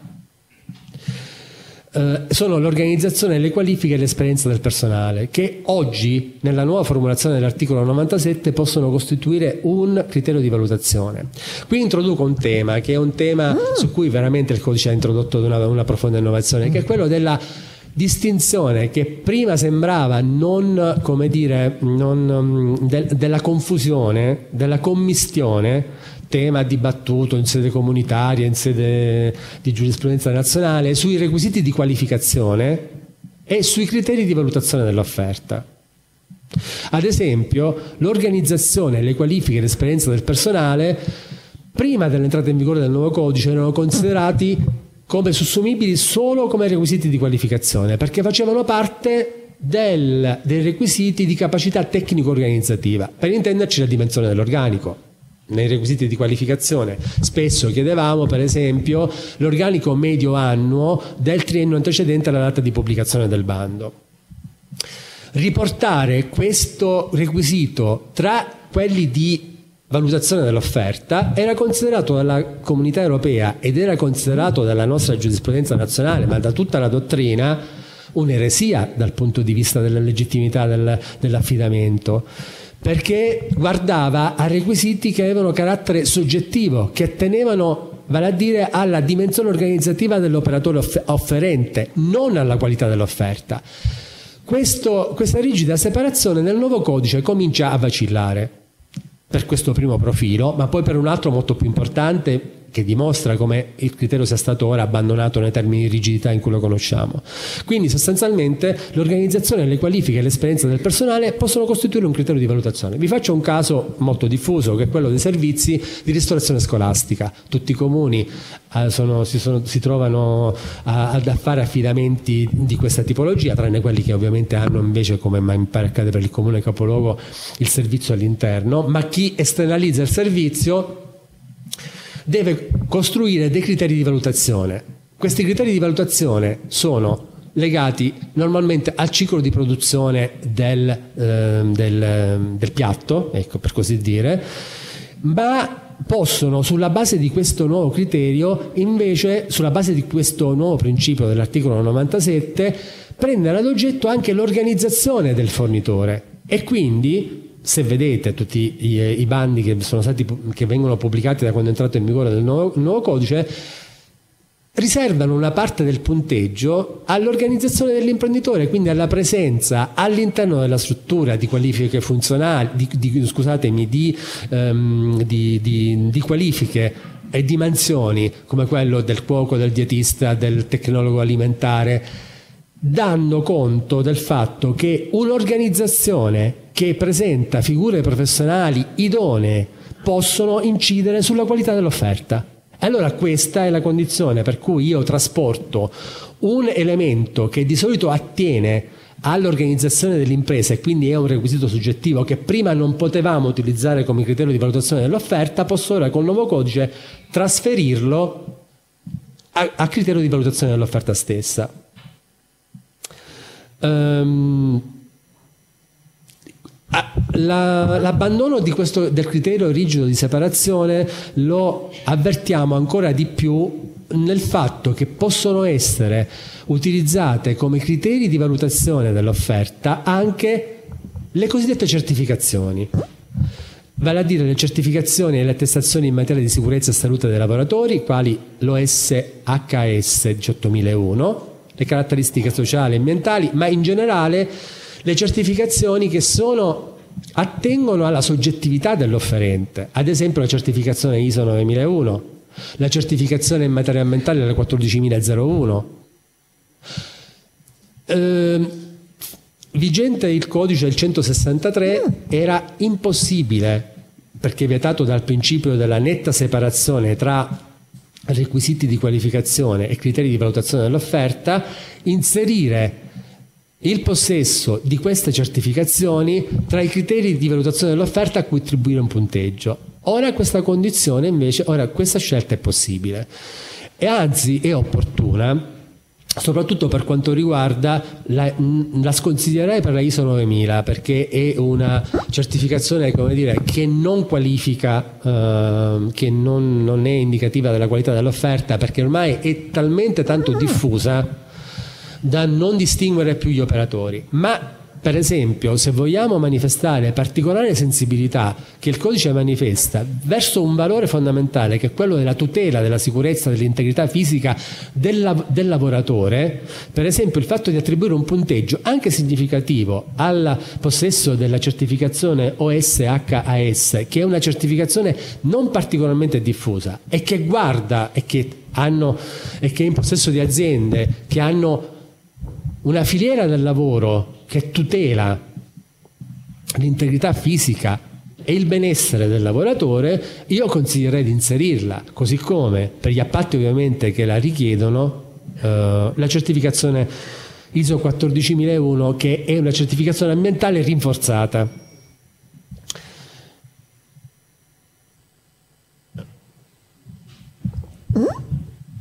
Altri criteri che costituiscono una novità assoluta introdotta dal codice eh, e che possono essere utilizzate. Ah, ecco, a proposito delle certificazioni, però faccio un passo indietro perché forse ho, l'enfasi mi ha portato a sopravvalutarne ehm, dire, l'impatto che possono avere sul... L'ANAC dà un'indicazione in questo senso nelle linee guida e dice mh, dobbiamo considerare superato il criterio di distinzione e di separazione a cui ci, riferivamo prima, però non possiamo non tenere conto del fatto che comunque le certificazioni di qualità sono, attengono alla, alla sfera soggettiva um, del, dell'operatore economico che partecipa alla gara. Quindi dobbiamo farne un uso parsimonioso per quanto riguarda la, la, la previsione, ma quando riprevediamo dare un punteggio comunque marginale e residuale. Quindi sostanzialmente sui 70 punti che devono essere riservati all'offerta, alla qualità dell'offerta, dice l'ANAC, consiglia di non superare i 10 punti. Oltretutto, um, prevedere le certificazioni ci dà un aiuto perché voi sapete mm. che i sistemi per determinare l'attribuzione del punteggio sono essenzialmente due. Uno è il criterio discrezionale che rimette alla valutazione del, della, del commissario di gara l'attribuzione del coefficiente che poi viene trasformato in punteggio e c'è quello cosiddetto del sistema tabellare on-off, quindi hai il possesso dell'elemento ti do il punteggio, non hai il possesso dell'elemento non te lo do. Le certificazioni, quindi l'attribuzione grosso modo oggettiva e per certi versi stabilizza l'appalto, quindi maggiori sono gli elementi a cui attribuiamo il punteggio del non-off. Mm, minore la discrezionalità, minore la possibilità che l'esercizio della discrezionalità non adeguatamente, non adeguatamente motivato determini illegittimità dell'aggiudicazione. Questo è un consiglio da, tra tecnici. Ecco. Altre, ehm, altre ehm, criteri che hanno carattere di innovatività, perché non presenti nel 163, sono quelli che andiamo a leggere. Io posso prevedere l'attribuzione di un punteggio al cosiddetto ma, al maggior rating di legalità, è la prima volta che in un testo come dire, che mm, disciplina l'affidamento dei, dei contratti pubblici si parla di rating di legalità perché mh, mm, il rating di legalità non è fondato su una normativa certa avente forza di legge, ma si fonda su una delibera dell'autorità garante della concorrenza del mercato, mi pare del 2013. Sostanzialmente come funziona il rating di legalità? È una sorta di patentino a stellette da 1 a 5 eh, che gradua la, eh, riservato innanzitutto alle società eh, che hanno un fatturato annuo superiore a 2 milioni di euro e che documentano il possesso all'interno l'adozione all'interno del ciclo produttivo di particolari standard di qualità a tutela della salute dei lavoratori, a tutela della qualità del prodotto e via dicendo. La GCOM rilascia questa sorta di certif- questa certificazione è una sorta di certificazione che, ripeto, è graduata ehm, con delle stellette da 1 a 5 e che eh, potrebbe, può essere, eh, a cui può essere, al cui possesso può essere attribuito un punteggio. Ovviamente il fatto che ehm, l'acquisizione del rating di legalità non sia normato con, da un atto avente forza di legge ha indotto l'ANAC correttamente a dire attenzione perché la previsione del rating di legalità potrebbe, è previsto in Italia, non è previsto nel resto d'Europa, portare a delle sperequazioni nell'ipotesi in cui il bando, la gara sia aperta alla concorrenza europea, ma anche all'interno del territorio nazionale, perché ci sono le imprese di recente costituzione, ci sono delle imprese che non possono, che non hanno i requisiti finanziari richiesti per l'accesso al rating in legalità. Quindi puoi anche prevederlo, però parallelamente prevedi la possibilità che sia dato un punteggio ad imprese che pur non avendo il rating di legalità, tuttavia hanno adottato in termini di organizzazione aziendale il, mm, il, il percorso produttivo che valutato potrebbe dar corso al rilascio del rating di legalità. Quindi sostanzialmente, per farvi un esempio di altro genere, è come quando si fa riferimento alla, al, ad un prodotto, alla marca di un prodotto e poi si mette o equivalente. Quindi io posso andare a dire do 5 punti al rating di, a chi, all'impresa che possiede, all'impresa, all'operatore economico che ha il rating di legalità, però a chi ha un'organizzazione aziendale che ha caratteristiche equivalenti a quelle previste dal rating di legalità, pur non avendo il rating di legalità formalmente eh, concesso, tuttavia do ugualmente il punteggio. Poi ci sono eh, delle, dei criteri, però qui è facile scriverlo e poi è difficile metterlo in atto senza violare il principio di parità di trattamento e di non discriminazione, per cui per agevolare la partecipazione di micro, piccole e medie imprese, qui veramente ho pensato, ho ripensato, ma è veramente difficile strutturare dei criteri che non siano a monte, per esempio, ma, ma in questo caso soccorre direttamente il codice, il, eh, la, il frazionamento in lotti. Cioè, il codice per esempio dice una cosa che se eh, spostata prima dell'entrata in vigore del, a, al, al, 2010 sarebbe stata eh, oggetto addirittura di interesse da parte di un giudice diverso da quello amministrativo. Il frazionamento del, dell'appalto in, eh, in lotti mh, mm, mh, per abbassare il livello di qualificazione ed ampliare la platea, prima veniva considerato frazionamento artificioso, ora il codice anche su questo muta profondamente direzione e lo fa tra l'altro per una questione che tutti avevamo sotto gli occhi, e cioè che il mercato a causa della crisi economica aveva cambiato radicalmente volto e che quindi aumentare l'importo degli appalti significa sostanzialmente restringere enormemente la concorrenza. E su questo tema vi posso dire eh, ripeto siamo tutti operatori quindi conosciamo la vicenda, avete visto che tipo di interventi sono stati fatti dalla magistratura amministrativa perché il Consiglio di Stato continua ad emettere sentenze che annullano i bandi di Consip con i maxilotti, tra cui per esempio, fra tutti quello del cosiddetto Global Service immobiliare che era andato a Romeo. Cioè in Italia si erano fatti quattro lotti, ciascuno dei quali aveva come base d'asta, base d'asta 2 miliardi di euro che poteva consentire la partecipazione anche al raggruppamento temporaneo solo a quattro operatori economici a livello nazionale. Il Consiglio di Stato, proprio partendo dal presupposto che eh, questa scelta violava un principio che il codice ha recepito, che è quello di garantire la massima apertura al mercato e soprattutto l'accesso al mercato delle micro, piccole e medie imprese, delle PMI, per sintetizzare, ha annullato il ma oltretutto il mancato frazionamento, stranamente, è all'oggetto anche della magistratura penale. In questo caso per effetti, total, per, per, una questione che è total, diametralmente opposta a quella del frazionamento artificioso di cui si, si parlava un tempo. Le imprese di nuova Costituzione, Qui ovviamente l'unico modo per premiare le imprese di nuova Costituzione è quello di valorizzare i cosiddetti progetti di start-up, cioè i progetti innovativi, quindi valorizzare le imprese di nuova Costituzione significa sostanzialmente, eh, come dire, lo si può applicare nei contratti, negli, negli affidamenti per i servizi di innovazione tecnologica, per esempio per i prodotti informatici, per i servizi di digitalizzazione, perché in questo campo operano tante start-up formate da giovani ingegneri, da giovani professionisti, per cui io non solo potrei valorizzare appunto l'apporto innovativo dell'offerta in termini di start-up, ma anche il punto precedente, la presenza all'interno delle qualifiche, all'interno della struttura organizzativa di giovani professionisti. E poi l'altro punto è quello di cui avevamo parlato e che approfondiremo dopo. Ha detto solo 12 e mezzo? E, e...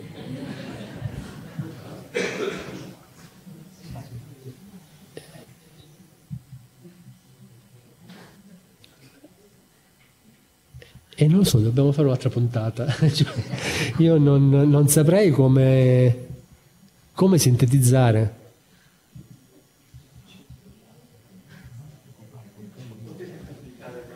Sì, il materiale lo pubblichiamo, non c'è dubbio. Dunque, mh, mm, veramente non saprei come, cioè a, a, questo punto forse conviene fare una cosa, dando per scontato che la materia sia conosciuta.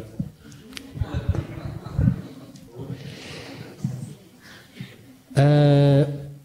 facciamo una cosa, mm, sviluppo, facciamo un quarto d'ora.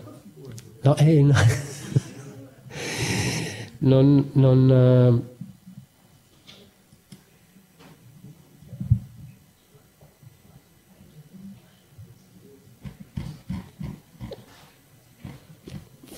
mi fermerei a commentare magari qualche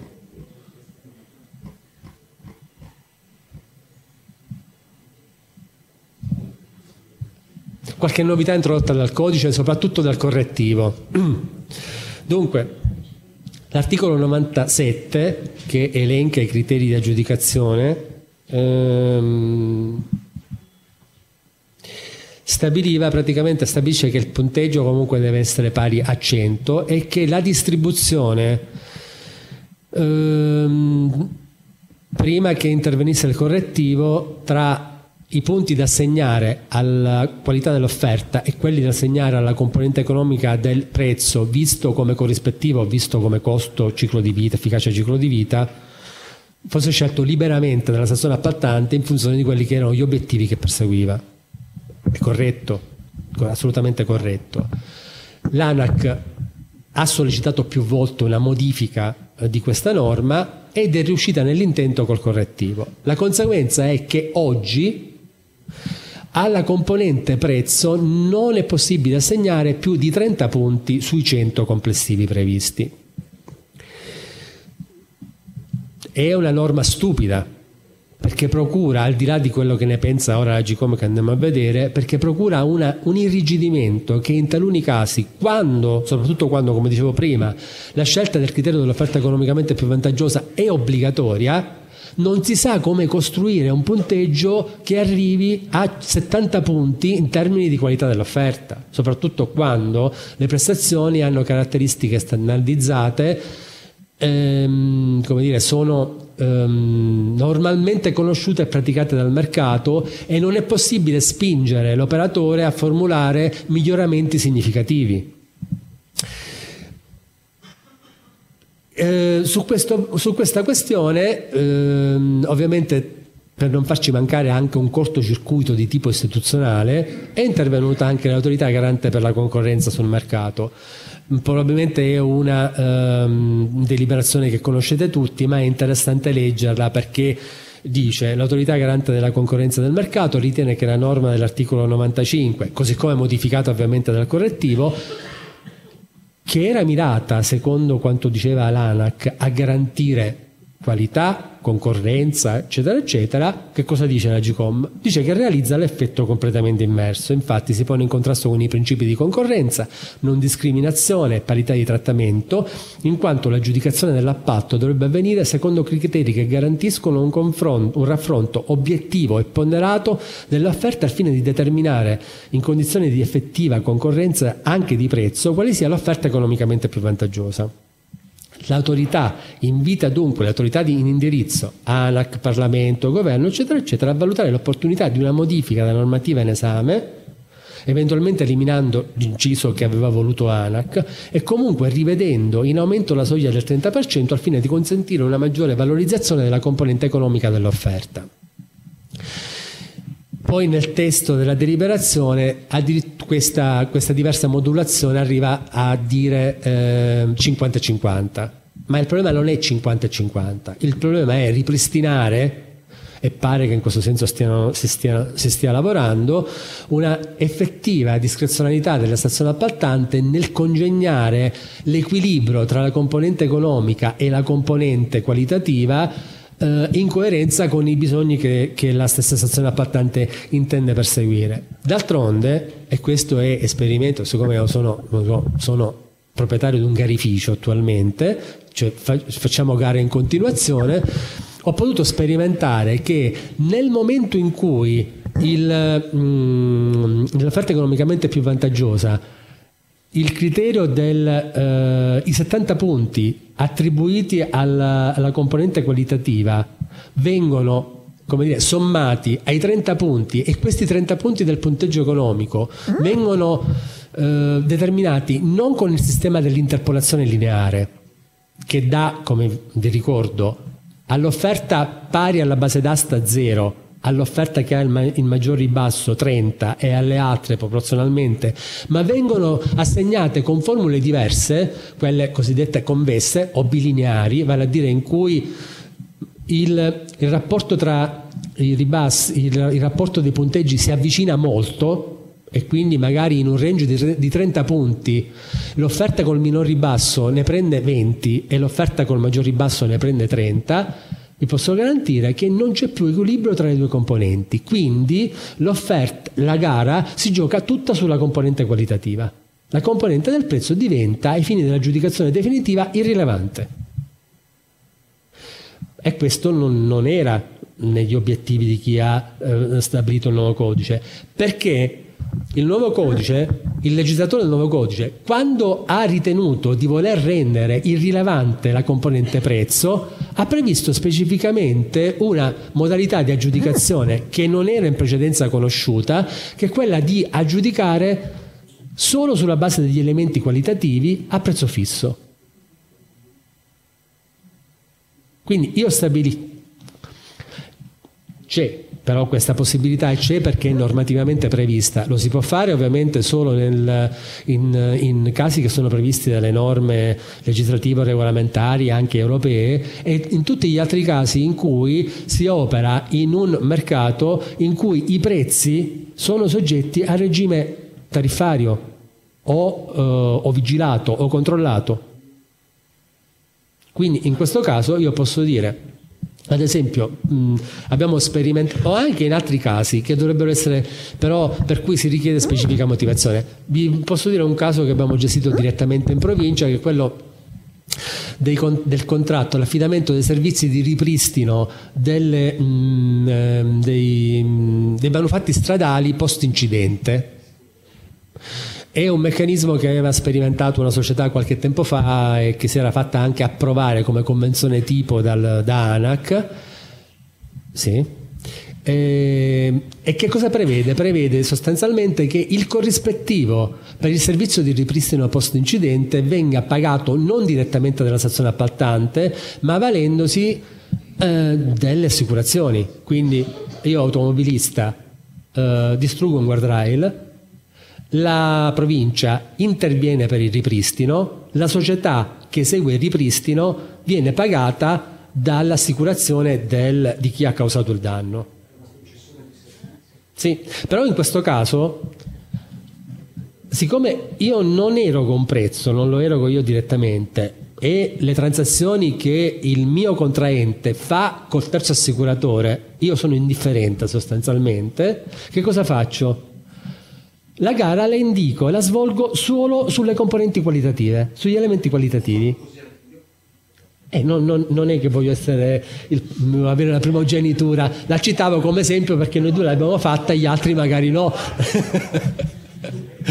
ci, possono, ci, possono, anche, mm, ci si può anche pensare. Vediamo se c'è qualche altra sentenza, dopodiché chiudo veramente, però mi dispiace perché avrei voluto parlare di sì, sì ma eh, Matteo non... No, visto che ha voluto citare questo caso, vediamo lei come ha fatto, bisogna dare una, un valore a questo contratto. È vero che c'è solo il fattore qualitativo e non prezzo, però ai fini della determinazione del valore del contratto.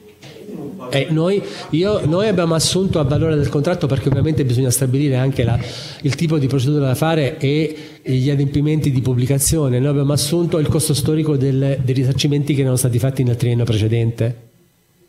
perché comunque è, una casist- è una, un'indagine che può essere tranquillamente fatta. Io so quali incidenti ha subito il, il, nostro, eh, il nostro demanio stradale e sommo tutte le transazioni a titolo risarcitorio che sono verificate nel triennio precedente e determino il valore. Per esempio noi avevamo determinato come valore, se non ricordo male, 995.000 euro, 995.000 euro tanto che la, l'appalto era stato di rilievo comunitario perché poi ovviamente la determinazione del valore dell'appalto non incide solo sulla, eh, sul tipo di procedura e sulle pubblicazioni da fare, ma sulla qualificazione, perché io devo richiedere che nel triennio precedente abbiano svolto almeno un servizio analogo, che significa analogo nelle caratteristiche tecniche, ma significa anche analogo per importo. Però è un accertamento che è è semplice fare perché, ripeto, del, dell'infortunistica che subiscono le nostre infrastrutture stradali, gli uffici tecnici hanno adeguata documentazione. Quindi poi 5.000 euro in più, 5.000 euro in meno lo sposta. Certo, se lo faccio per stare al di sotto dei 227.000 euro, no, ma se anziché 900.000 euro e 950.000 euro non, non, sposta granché.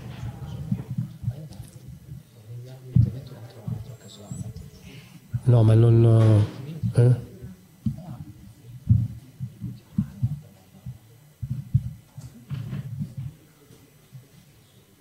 Ma sei sicuro?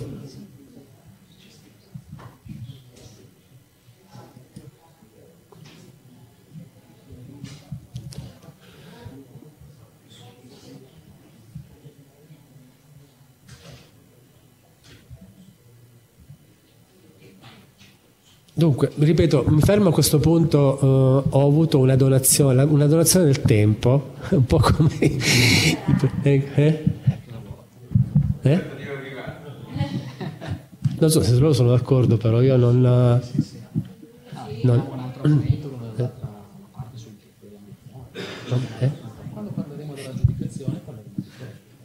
Vabbè, lo ospito al prossimo incontro, tanto poi il Presidente Altara mi ha detto che lui farà un, un intervento di un quarto d'ora. Va bene, quindi l'altro, l'altro, elemento di novità che il codice apporta è quello, ripeto, legato alla qualificazione dell'elemento prezzo secondo due diverse eccezioni. Uno che è di tipo, come dire,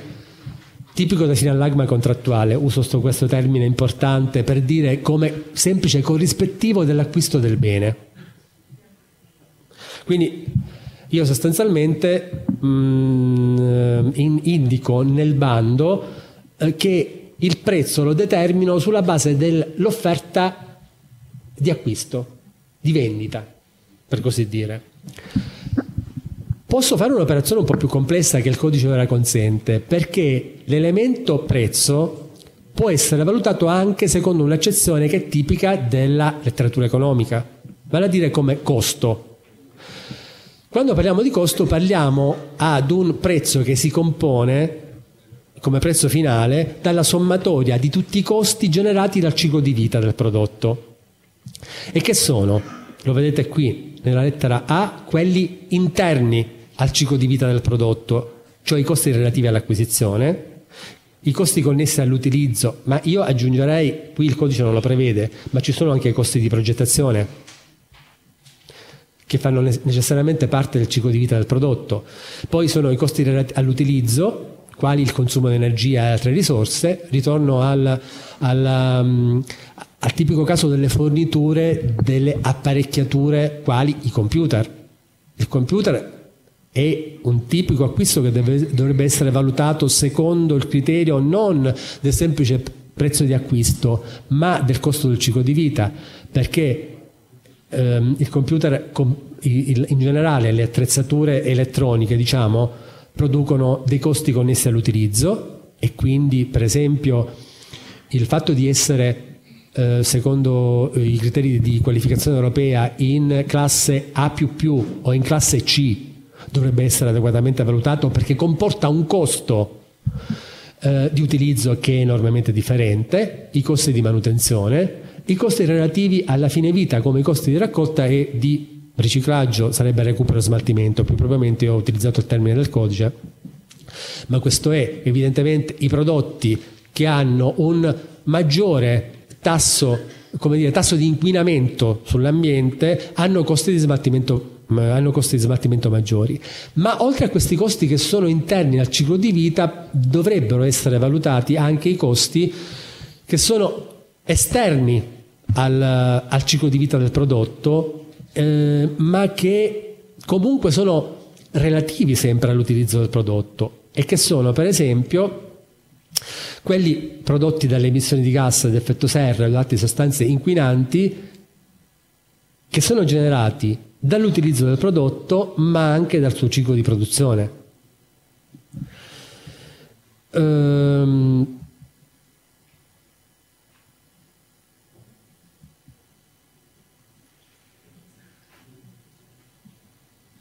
Vabbè, questo qua era il, il, il, modo, il sistema con cui si valutano le offerte. Come sapete il codice ha introdotto anche un nuovo sistema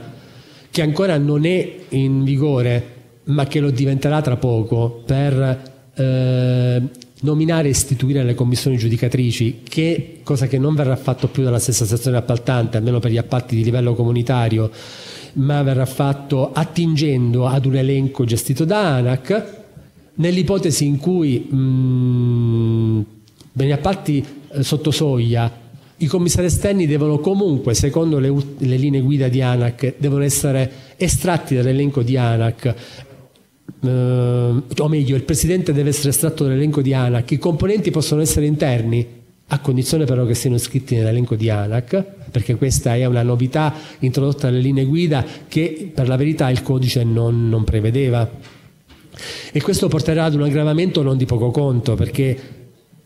alle gare presidiamo molti, ma dovremmo andare a dimostrare di avere gli stessi requisiti sostanzialmente che hanno i componenti esterni che si iscrivono all'albo per continuare a fare un lavoro che facciamo magari da 25 anni, come nel caso mio.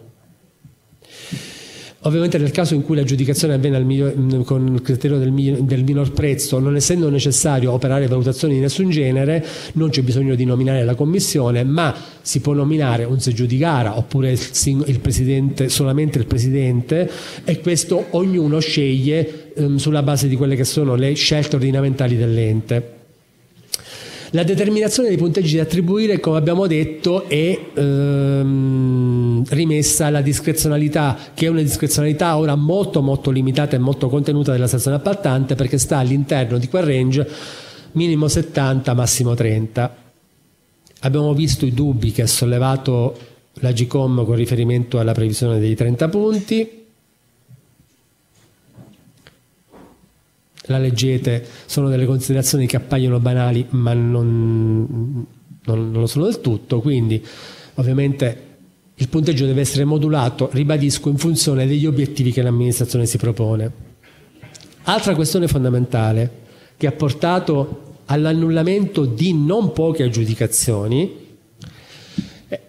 su un tema che era dibattuto fin dalla eh, vigenza del codice del 2006, che se vi ricordate nel 2012 era stato modificato proprio allo scopo di inserire la previsione dei cosiddetti subcriteri e la previsione dei criteri motivazionali. Questo perché? Perché la, la previsione dei criteri motivazionali applica è una logica conseguenza del criterio di trasparenza, perché non è altro che eh, obbligo di motivazione, vale a dire il bando deve prevedere quale sarà l'iter logico, tecnico, giuridico che ogni commissario seguirà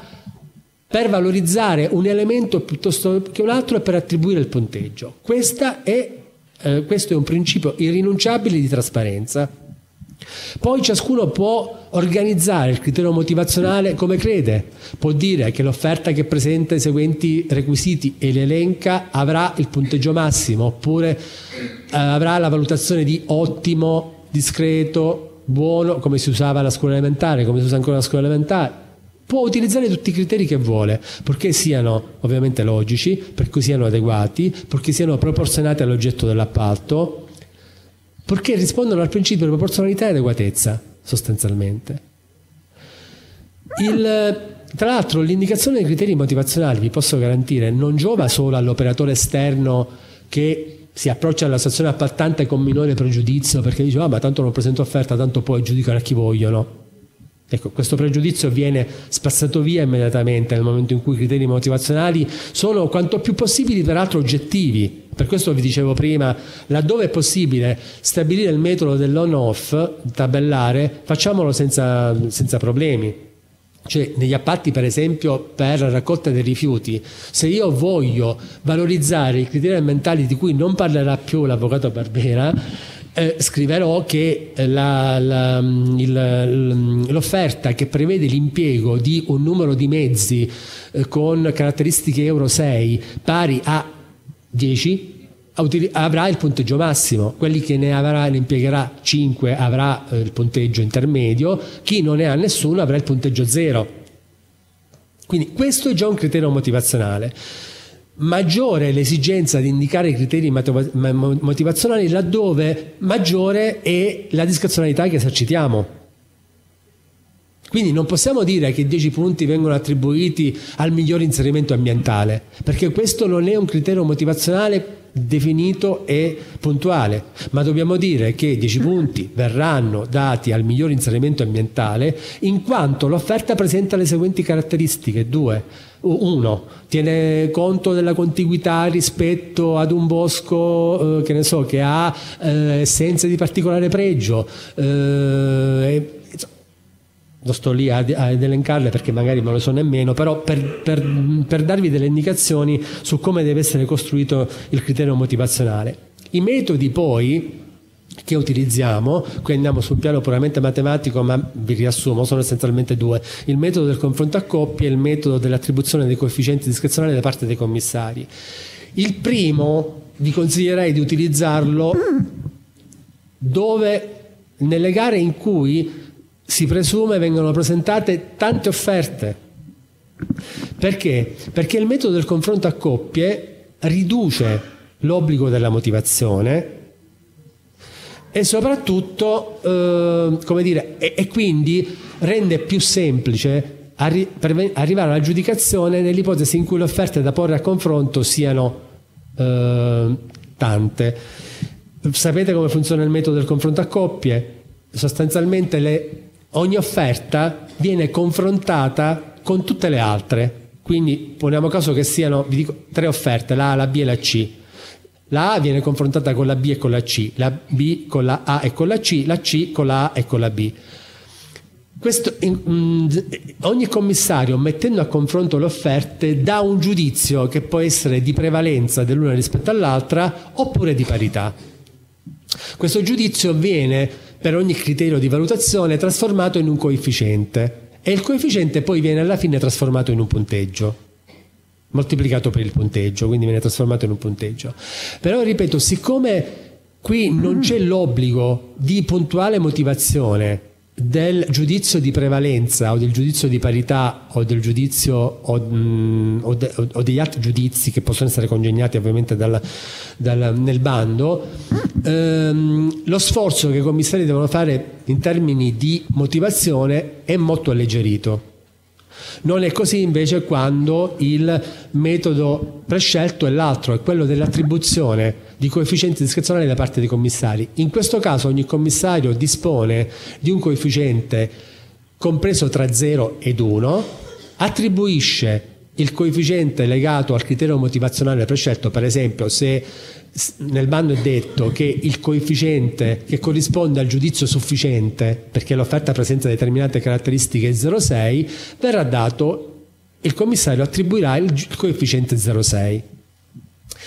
Eh, alla fine che cosa succede? Che eh, i eh, coefficienti attribuiti da ciascun commissario vengono mediati, quindi si ha la media dei coefficienti, e a questo punto volevo introdurre un problema che è diventato problema ora perché inter- sono intervenute le linee guida di ANAC che danno una direzione e la giurisprudenza va in una direzione completamente opposta. Quindi qui serve anche a scegliere qual è il sistema. Il problema è quello della cosiddetta riparametrazione. Ecco. Cos- è, cos'è la riparametrazione? è possibile che in ciascuno dei criteri l'offerta non consegua il massimo punteggio che il bando assegna. Quindi, se il criterio dell'inserimento ambientale è 30 punti, è possibile che le offerte non abbiano avuto un coefficiente, nessuna delle offerte abbia avuto un coefficiente che, che consumi, che consente l'attribuzione dell'intero, eh, dell'intero, dell'intero punteggio. In questo caso cosa succede? Il rischio è che nell'ipotesi in cui in tutti i criteri nessuno consegua il punteggio massimo, venga squilibrato il rapporto che nel momento in cui io ho approvato il bando volevo esistesse tra componente qualitativa a 70 punti e componente economica a 30 punti, perché ovviamente cosa succede? Il rischio è che io non assegno i 70 punti dell'offerta, dell'offerta tecnica. E allora soccorre a questa difficoltà la cosiddetta riparametrazione, che può essere doppia. Una prima riparametrazione che riguarda le medie dei coefficienti, come abbiamo detto, per cui cosa succede? Se io ho tre offerte, una delle quali ha avuto il coefficiente 0,9, l'altra coefficiente, la media dei coefficienti 0,7 e 0,8, 0, sì, 0,9, 0,8, 0,7, cosa faccio? Riparametro ad uno la media più alta, quindi 0,9 diventa 1, consegue il massimo punteggio e gli altri vengono riparametrati in termini proporzionali. A questo posso aggiungere, e bisogna normalmente aggiungere se si vogliono dare i 70 punti complessivi, la cosiddetta riparametrazione finale, cioè quando io ho attribuito i punteggi in ogni criterio o subcriterio, posso avere un punteggio finale che non consumi tutti i 70 punti, ma che arrivi per esempio a 65, 60, 55. In questo caso i 65 punti li trasformo automaticamente in 70 e gli altri li aumento in termini parametrici. Ora, il dramma che si apre è che poiché nella, eh, nell'offerta economicamente più vantaggiosa la valutazione dell'anomalia dell'offerta deve essere fatta eh, va fatta per tutte le offerte che presentino che, cui, che abbiano conseguito un punteggio sull'elemento qualitativo e sull'elemento economico superiore ai 4 quinti del punteggio massimo, ora i 4 quinti li considero prima della riparametrazione o dopo la riparametrazione, perché ovviamente se li considero dopo la riparametrazione è scontato che tutte le offerte sono anomale o comunque tutte le offerte un'offerta, quella giudicataria, sarà presumibilmente anomala e vi posso dire che statisticamente in tutte le gare è successo, succede.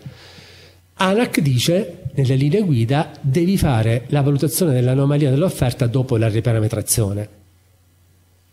La giurisprudenza, non tutta, ma all'80%, le sentenze le avevo raccolte e quindi possiamo andarle a leggere, va in senso, diametra- va in senso opposto scusatemi, ma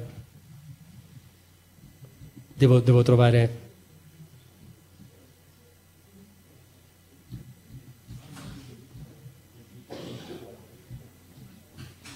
No, ma forse le ho, le ho inserito qua, i riferimenti li ho inseriti qua direttamente.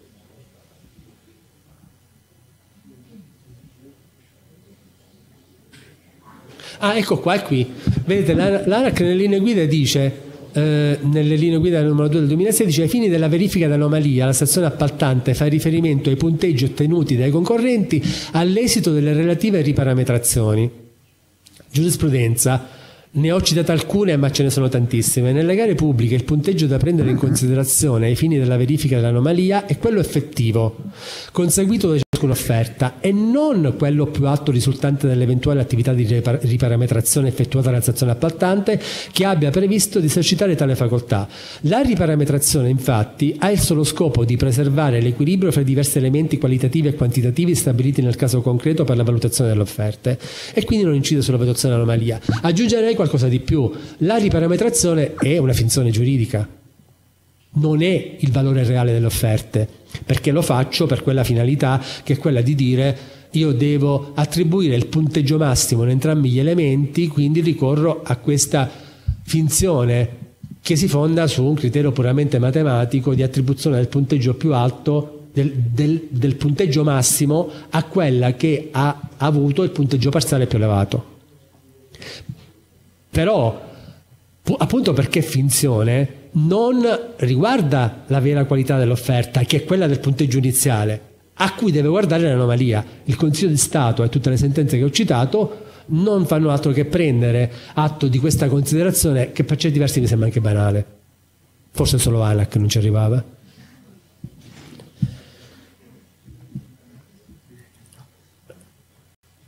Poi ci sarebbero tutta una serie di questioni, ma credo che a questo punto... Questa per esempio è un'altra questione che ha dato luogo perché per gli operatori è di difficilissima applicazione. Cioè, era già stato inserito nel vecchio codice, in, in, in, in limine vite, o alla, alla, quasi alla fine, ma ehm, è stato riprodotto nel nuovo. Che cosa si ipotizza? Si ipotizza che in sede di gara io apro le offerte, Ovviamente, tanto che, criterio, che, che, abbia scelto di applicare il criterio dell'esclusione automatica delle offerte, tanto che abbia scelto di determinare la soglia di anomalia, poi procedendo alla verifica di anomalia in contraddittorio, devo determinare la soglia di anomalia. Ovviamente la soglia di anomalia mi determina un aggiudicatario. La, il codice dice sostanzialmente che i provvedimenti tanto giurisdizionali, aggiungo quanto i provvedimenti che la stazione appaltante può adottare esercitando l'autotutela, nel momento in cui comportano esclusioni, riammissioni o incidono comunque sulla gradatoria che, io, che la gara mi ha consegnato e che io ho approvato, non eh, possono, non generano modifica né nella media né nell'individuazione della soglia di anomalia. Io vi giuro che nonostante non sia proprio l'ultimo arrivato, mi sono cervellato a capire come si possa applicare questa, cioè praticamente cosa succede nel momento in cui il TAR annulla l'aggiudicazione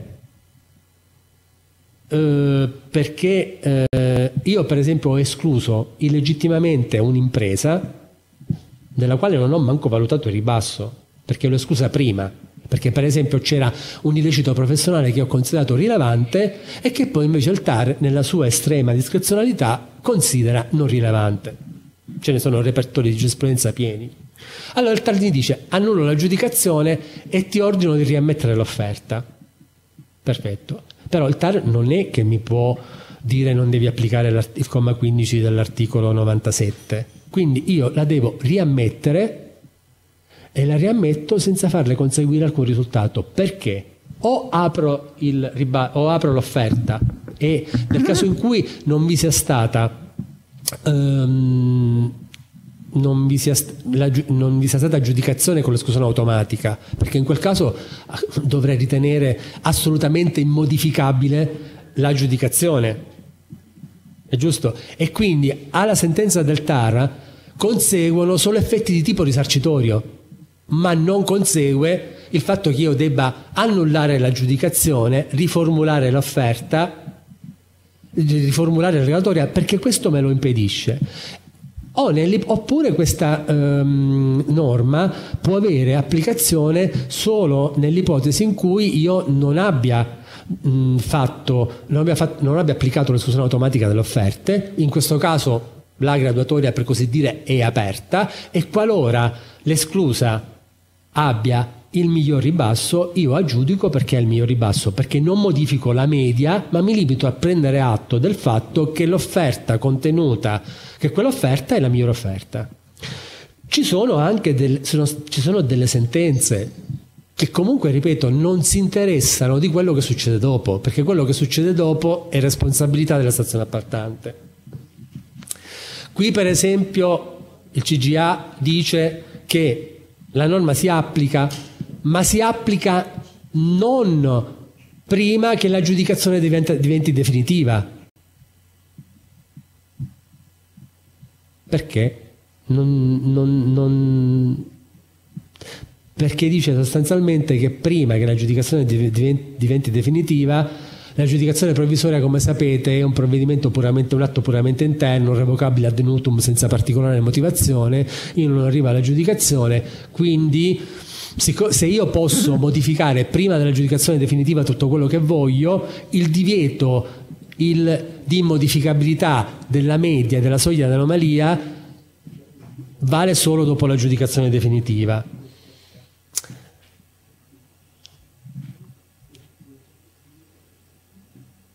Ecco, questo qua è il cosiddetto principio, per esempio il TAR mh, mm, Piemonte dice una sentenza recentissima, il cosiddetto principio dell'imbaranza della soglia dell'anomalia delle offerte, secondo cui ogni variazione della platea dei concorrenti che intervenga anche in conseguenza di una pronuncia giurisdizionale, quindi l'anche, ripeto, significa anche per effetto di provvedimenti di autotutela, Regolarizzazione esclusione dell'offerta non rileva ai fini del calcolo di medie nella procedura, né per l'individuazione della soglia di anomalia si interpreta nel senso che esso osta a variazione della soglia di anomalia con indiretti effetti sull'aggiudicazione, indotte da modifiche della platea dei concorrenti in esito al contenzioso, ovvero interventi in autotutela dell'amministrazione, qualora gli stessi comportino un regresso a precedenti fasi procedimentali. Ribadisco, l'applicazione del principio nei termini in cui le espone il TAR Piemonte e che sono gli stessi del Consiglio di Stato non ha difficoltà applicative nell'ipotesi in cui io eh, abbia aggiudicato senza l'esclusione automatica delle offerte, ma con il procedimento di verifica dell'anomalia in contraddittorio, perché lì la graduatoria è per così dire aperta. Quindi io lì non modifico la soglia dell'anomalia, non modifico la media, ma siccome dalla soglia dell'anomalia o dalla media non è conseguito direttamente ed immediatamente l'aggiudicazione, aggiungere un'altra offerta mi costa nulla. La questione è completamente diversa nell'ipotesi in cui io abbia adottato il criterio dell'esclusione automatica dell'offerta, perché lì non posso modificare la soglia dell'anomalia, non posso modificare la media, quindi significa che non posso modificare l'aggiudicazione.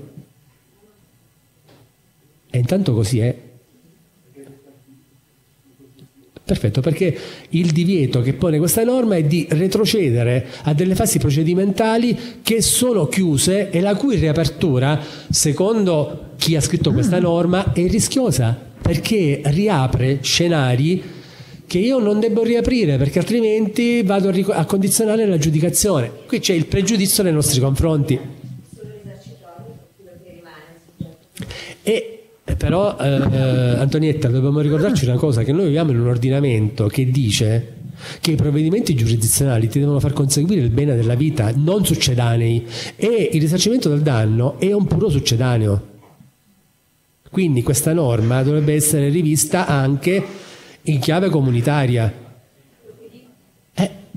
Però tanto è, io ripeto, vi ho posto la questione perché può, potrebbe concretamente verificarsi e vi posso dire che non solo queste due sentenze, ma ce ne sono negli ultimi sei mesi una decina che intervengono su questo tema. Non è capitato ai nostri affidamenti, alle nostre giudicazioni, ma concretamente potrebbe verificarsi. Soprattutto perché, per esempio, per i servizi delle forniture no, non applichiamo il criterio, ma per i lavori fino a 2 milioni di euro, come sapete, possono essere banditi col criterio del minor prezzo con l'obbligo dell'esclusione automatica dell'offerta nell'ipotesi in cui ci fosse un ricorso.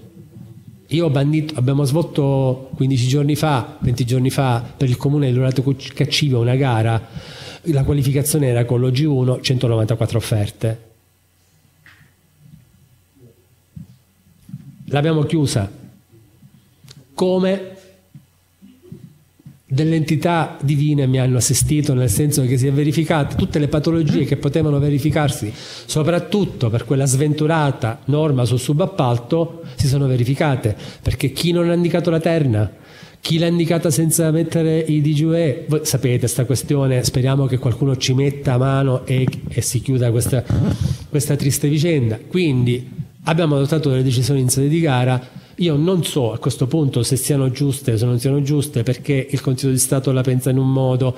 dicendo che sì, può essere disposto l'integrazione corso corso istruttore nell'ipotesi in cui non vi sia il DGUE, ma se non indicano la terna no. E allora insomma, si decide di dedicare in qualcosa, ci sono state una quindicina di offerte caratterizzate da patologie di questo genere, io per alcune ho fatto ricorso al soccorso istruttorio, per altre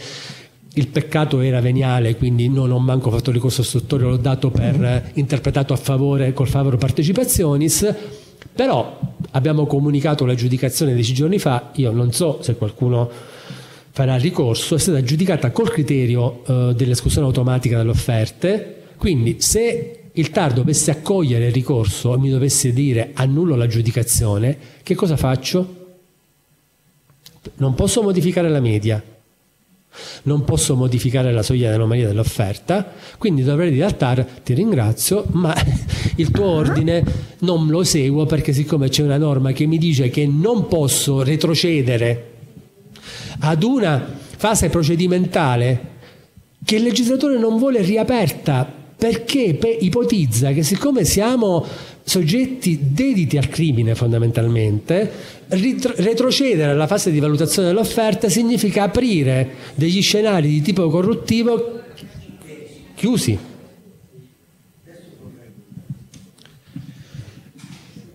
Ecco, questa qua per esempio è una sentenza del Consiglio di Stato, però questa documentazione ve la mando tutta, la giusto perché ora non, non mi voglio mettere delle medagliette, insomma, medaglia, però insomma, ha, um, dire, pone tante questioni dando delle indicazioni. Altra novità introdotta dal codice, su cui vi prego di fare particolare attenzione, perché questa, a differenza di quella del, dell'immodificabilità dell'offerta, è una novità assoluta introdotta dal correttivo, quindi ce l'abbiamo in atto da pochissimo tempo, riguarda il divieto ehm, di attribuire punteggio ad opere aggiuntive diciamocelo pure, è uno sport che abbiamo praticato per tanto tempo. Quindi si parte da un progetto che magari presenta qualche falla, lo si aggiudica con l'offerta economicamente più vantaggiosa e il premio e il punteggio viene dato all'offerta che ti copre quella falla. Come? Offrendo opere aggiuntive. Reduce da una situazione simile, da una situazione da una situazione del genere, appalto del, di una rotatoria. Il progetto non prevede, se non a livello di, ehm, di infrastruttura mh, fondamentale, eh, l'illuminazione pubblica e il bando viene mh, pubblicato dicendo do 30 punti sui 70 al miglioramento dell'illuminazione pubblica, che significa dell'impianto di pubblica illuminazione, che significa che l'offerente deve progettarlo e pagarlo. Di fatto. La relazione che accompagnava questa modifica al correttivo ovviamente si riferiva a che cosa? Agli appalti in genere, perché a questo scamotage non è che si ricorre, ricorrono solo i miei colleghi tecnici che progettano opere pubbliche, ma anche chi fa l'appalto per il servizio di ristorazione attribuisce 10 punti di punteggio a chi rifà tutta la cucina eh, comunale. Quindi con, richiedendo forniture di attrezzature, eccetera, eccetera, aggiuntive. Si ipotizzava che il contrasto a questo tipo di pratiche riguardasse forniture, servizi e lavori. Voi pensate che sia così? Se non l'avesse deciso un TAR? No, perché TAR Toscana e TAR Piemonte sono intervenuti su questa norma dicendo che il legislatore nella relazione di accompagnamento aveva esposto questa finalità che riguardava i contratti di, eh, gli appalti di servizi, di forniture e di lavori però qualcuno dovrebbe fare dei corsi di formazione al legislatore, che dovrebbe imparare a scrivere, perché se scrive opere e progetto esecutivo, vuol dire che nonostante le sue buone intenzioni, questa norma può essere applicata solo all'appalto di lavori. Che per noi è una protezione. Cioè, TAR ci ha aiutato in questa ricostruzione, però ripeto, viola quello che era l'obiettivo della legge, che era quello di evitare che attraverso l'offerta economicamente più vantaggiosa, dire, si sanassero deficienze del capitolato o del progetto chiedendo per definizione, dire, di, di svolgere una funzione di supplenza sulla progettazione laddove l'offerta economicamente più vantaggiosa serve a migliorare il progettato, ma il progettato deve essere già ben progettato e poi può anche essere migliorato.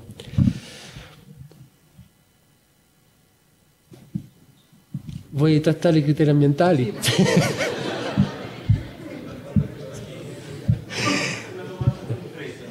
Facciamo una cosa, qui posso vedere una cosa se ho, perché volevo, come dire, mettere, far rialzare le antenne su dei problemi che per ora stanno cominciando a verificarsi in altre stazioni appaltanti, ma siccome hanno carattere generale, il pericolo è che si propaghino anche a noi. Ecco, quindi eh, è come la storia, per esempio, eh, non c'entra niente con questo, cioè c'entra poco, ma c'entra. L'appalto per i servizi per la raccolta dei rifiuti, ne parlavamo due giorni fa, con, è arrivata una sentenza del Consiglio di Stato che smentendo un precedente orientamento che non era mio, era del TAR del Lazio, del TAR Veneto, eccetera, eccetera, sosteneva che il servizio di raccolta, ehm, trasporto, eh, conferimento, smaltimento e recupero dei rifiuti fosse un processo tecnico come servizio di integrato unitario discendibile e che quindi tu dovessi appaltare tutte le fasi assieme. Eh, e così avevamo in qualche modo operato, ecco. identificando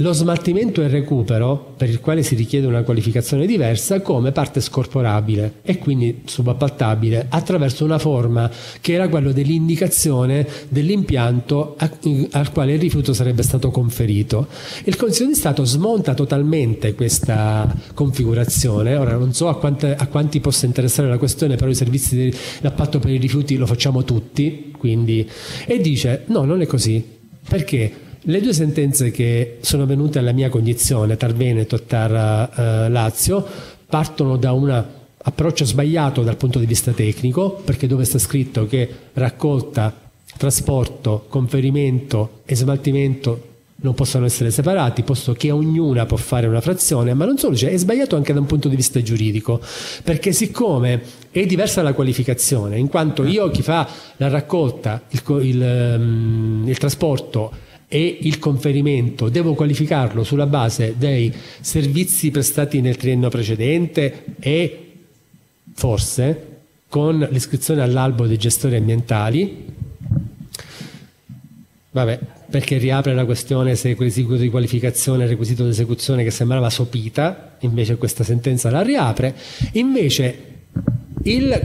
il, lo smaltimento recupero non può essere fatto da chi è scritto all'albo dei gestori ambientali, ma deve, ma deve essere fatto da chi è titolare di un impianto assistito dall'autorizzazione integrata ambientale, dall'AGUA. Ora, cioè, allora le essendo le qualificazioni diverse, devi fare tendenzialmente due appalti diversi e non devi metterle assieme da un altro punto di vista, perché il, siccome il mercato è un mercato di tipo monopolista, oligopolista, nel momento in cui tu imponi che partecipino attraverso le RT o che il soggetto che ha la qualificazione per l'iscrizione all'albo dei gestori ambientali e la titolarità dell'impianto assistito da acqua, significa che riduci la concorrenza Ehm, talmente tanto da rendere il mercato non oligopolista ma monopolista in un ambito territoriale ristretto, posto tra l'altro che i rifiuti, come sapete, secondo il codice dell'ambiente, devono essere conferiti in un ambito territoriale ristretto. Quindi se unisci tutto, quindi la scelta è che devi fare due appalti separati. Non so perché abbia deviato su questa cosa, ma eh, l'altra questione, per esempio, è a proposito della verifica dell'anomalia delle offerte. Mi limito veramente a fare, a fare un, un, breve cenno delle questioni controverse. E, mm, sapete come, che il nuovo codice ha, come dire, rispetto al precedente, che fissava in maniera eh, strutturata il procedimento per la verifica dell'anomalia delle offerte, il eh, codice nuovo dice che deve essere rispettato, lo si ricava, il principio del contraddittorio e l'unico termine che assegna è quello minimo di 15 giorni per l'acquisizione delle relazioni. Ovviamente ci si è chiesti, nell'ipotesi in cui le relazioni che presenta il ehm, fornitore, l'operatore la cui offerta è considerata anomala siano incomplete, che cosa faccio? Lo escludo, posto che il codice nuovo non prevede più il subprocedimento svolto in tre fasi, che erano 15 più 7 per le integrazioni, più 3 minimo per l'audizione personale dell'operatore economico. E allora si sono pronunciati anche in questo caso due TAR, nel, nel, nella documentazione che vi darò ce n'è una del TAR Marche, che dice no perché era un po' il discorso che faceva prima l'avvocato La Torraca, il procedimento di affidamento dei lavori pubblici è un procedimento speciale che ha regole sue, ma dobbiamo tenere conto che viviamo in un ordinamento che ha una legge generale sul procedimento amministrativo che dà dei principi. Uno di questi principi è quello del contraddittorio, che impone, nell'ipotesi in cui la documentazione presentata non sia completa, di disporre l'ulteriore integrazione. Quindi devi fare, anche se non è più scritto, 15 più 7 sicuramente, se poi fai più 3 sentendolo personalmente è ancora meglio, comunque non puoi escluderlo direttamente. Va bene? Quindi ricordatevi, nell'ipotesi in cui la documentazione richiesta sia da integrare con gli elementi che servono ovviamente a valutare l'anomalia, disponete l'integrazione documentale. Altra questione è che a differenza del codice precedente, il nuovo introduce dei, mh, dei, delle situazioni nelle quali l'esclusione, eh, l'ano, l'anomalia pare sanzionata ex legge. Tra questi vi è il, la violazione eh, dei minimi eh, salariali. Anche qui non vi dico che produzione giurisprudenziale c'è stata, ne, ripeto, ho, ho raccolto 5-6 sentenze perché ve ne sono alcune, in particolare due di giudici di primo grado, Tar Calabria, Tar Puglia, se non ricordo male, Lecce, che dicono che il riferimento, la, la lettera dell'articolo 97 sul punto è chiara e dice che qualora la, la l'offerta viola i minimi salariali, deve essere esclusa. Eh, perché su quel punto non si possono presentare giustificazioni. L'interpretazione della giurisprudenza prevalente del Consiglio di Stato sta andando invece in una direzione diversa, dicendo sostanzialmente questo. Uno, la norma è mal scritta, quindi io la riscrivo, dice il Consiglio di Stato. E la riscrivo come? I riferimenti sono due. Uno è quello dei minimi salariali, che sono inderogabili e che sono que- quelli previsti dai contratti collettivi di categoria. Dei contratti cioè che hanno contenuto normativo che i contratti collettivi di secondo livello non possono derogare. Quindi il primo parametro è che l'offerta deve stare all'interno dei minimi salariali previsti dal contratto collettivo di categoria, ma questo nessuna offerta viola quei eh, minimi perché di, sarebbe facilmente individuabile la violazione. L'altro parametro che invece che è quello rilevante in assoluto per valutare l'anomalia è gli indici del costo del lavoro determinati annualmente con tabelle approvate per singolo settore merceologico dal Ministero eh, del Lavoro e della Previdenza Sociale, non so come si chiami, insomma dal Ministero del Lavoro, del, lavoro, eh, del welfare, insomma eh, quello che è. Perché in quel caso però eh, il Consiglio di Stato dice non muta orientamento rispetto al regime previgente, perché quei limiti non sono limiti inderogabili, ma sono limiti parametrici. Vale a dire, io, siccome quel costo del lavoro è determinato dalla sommatoria di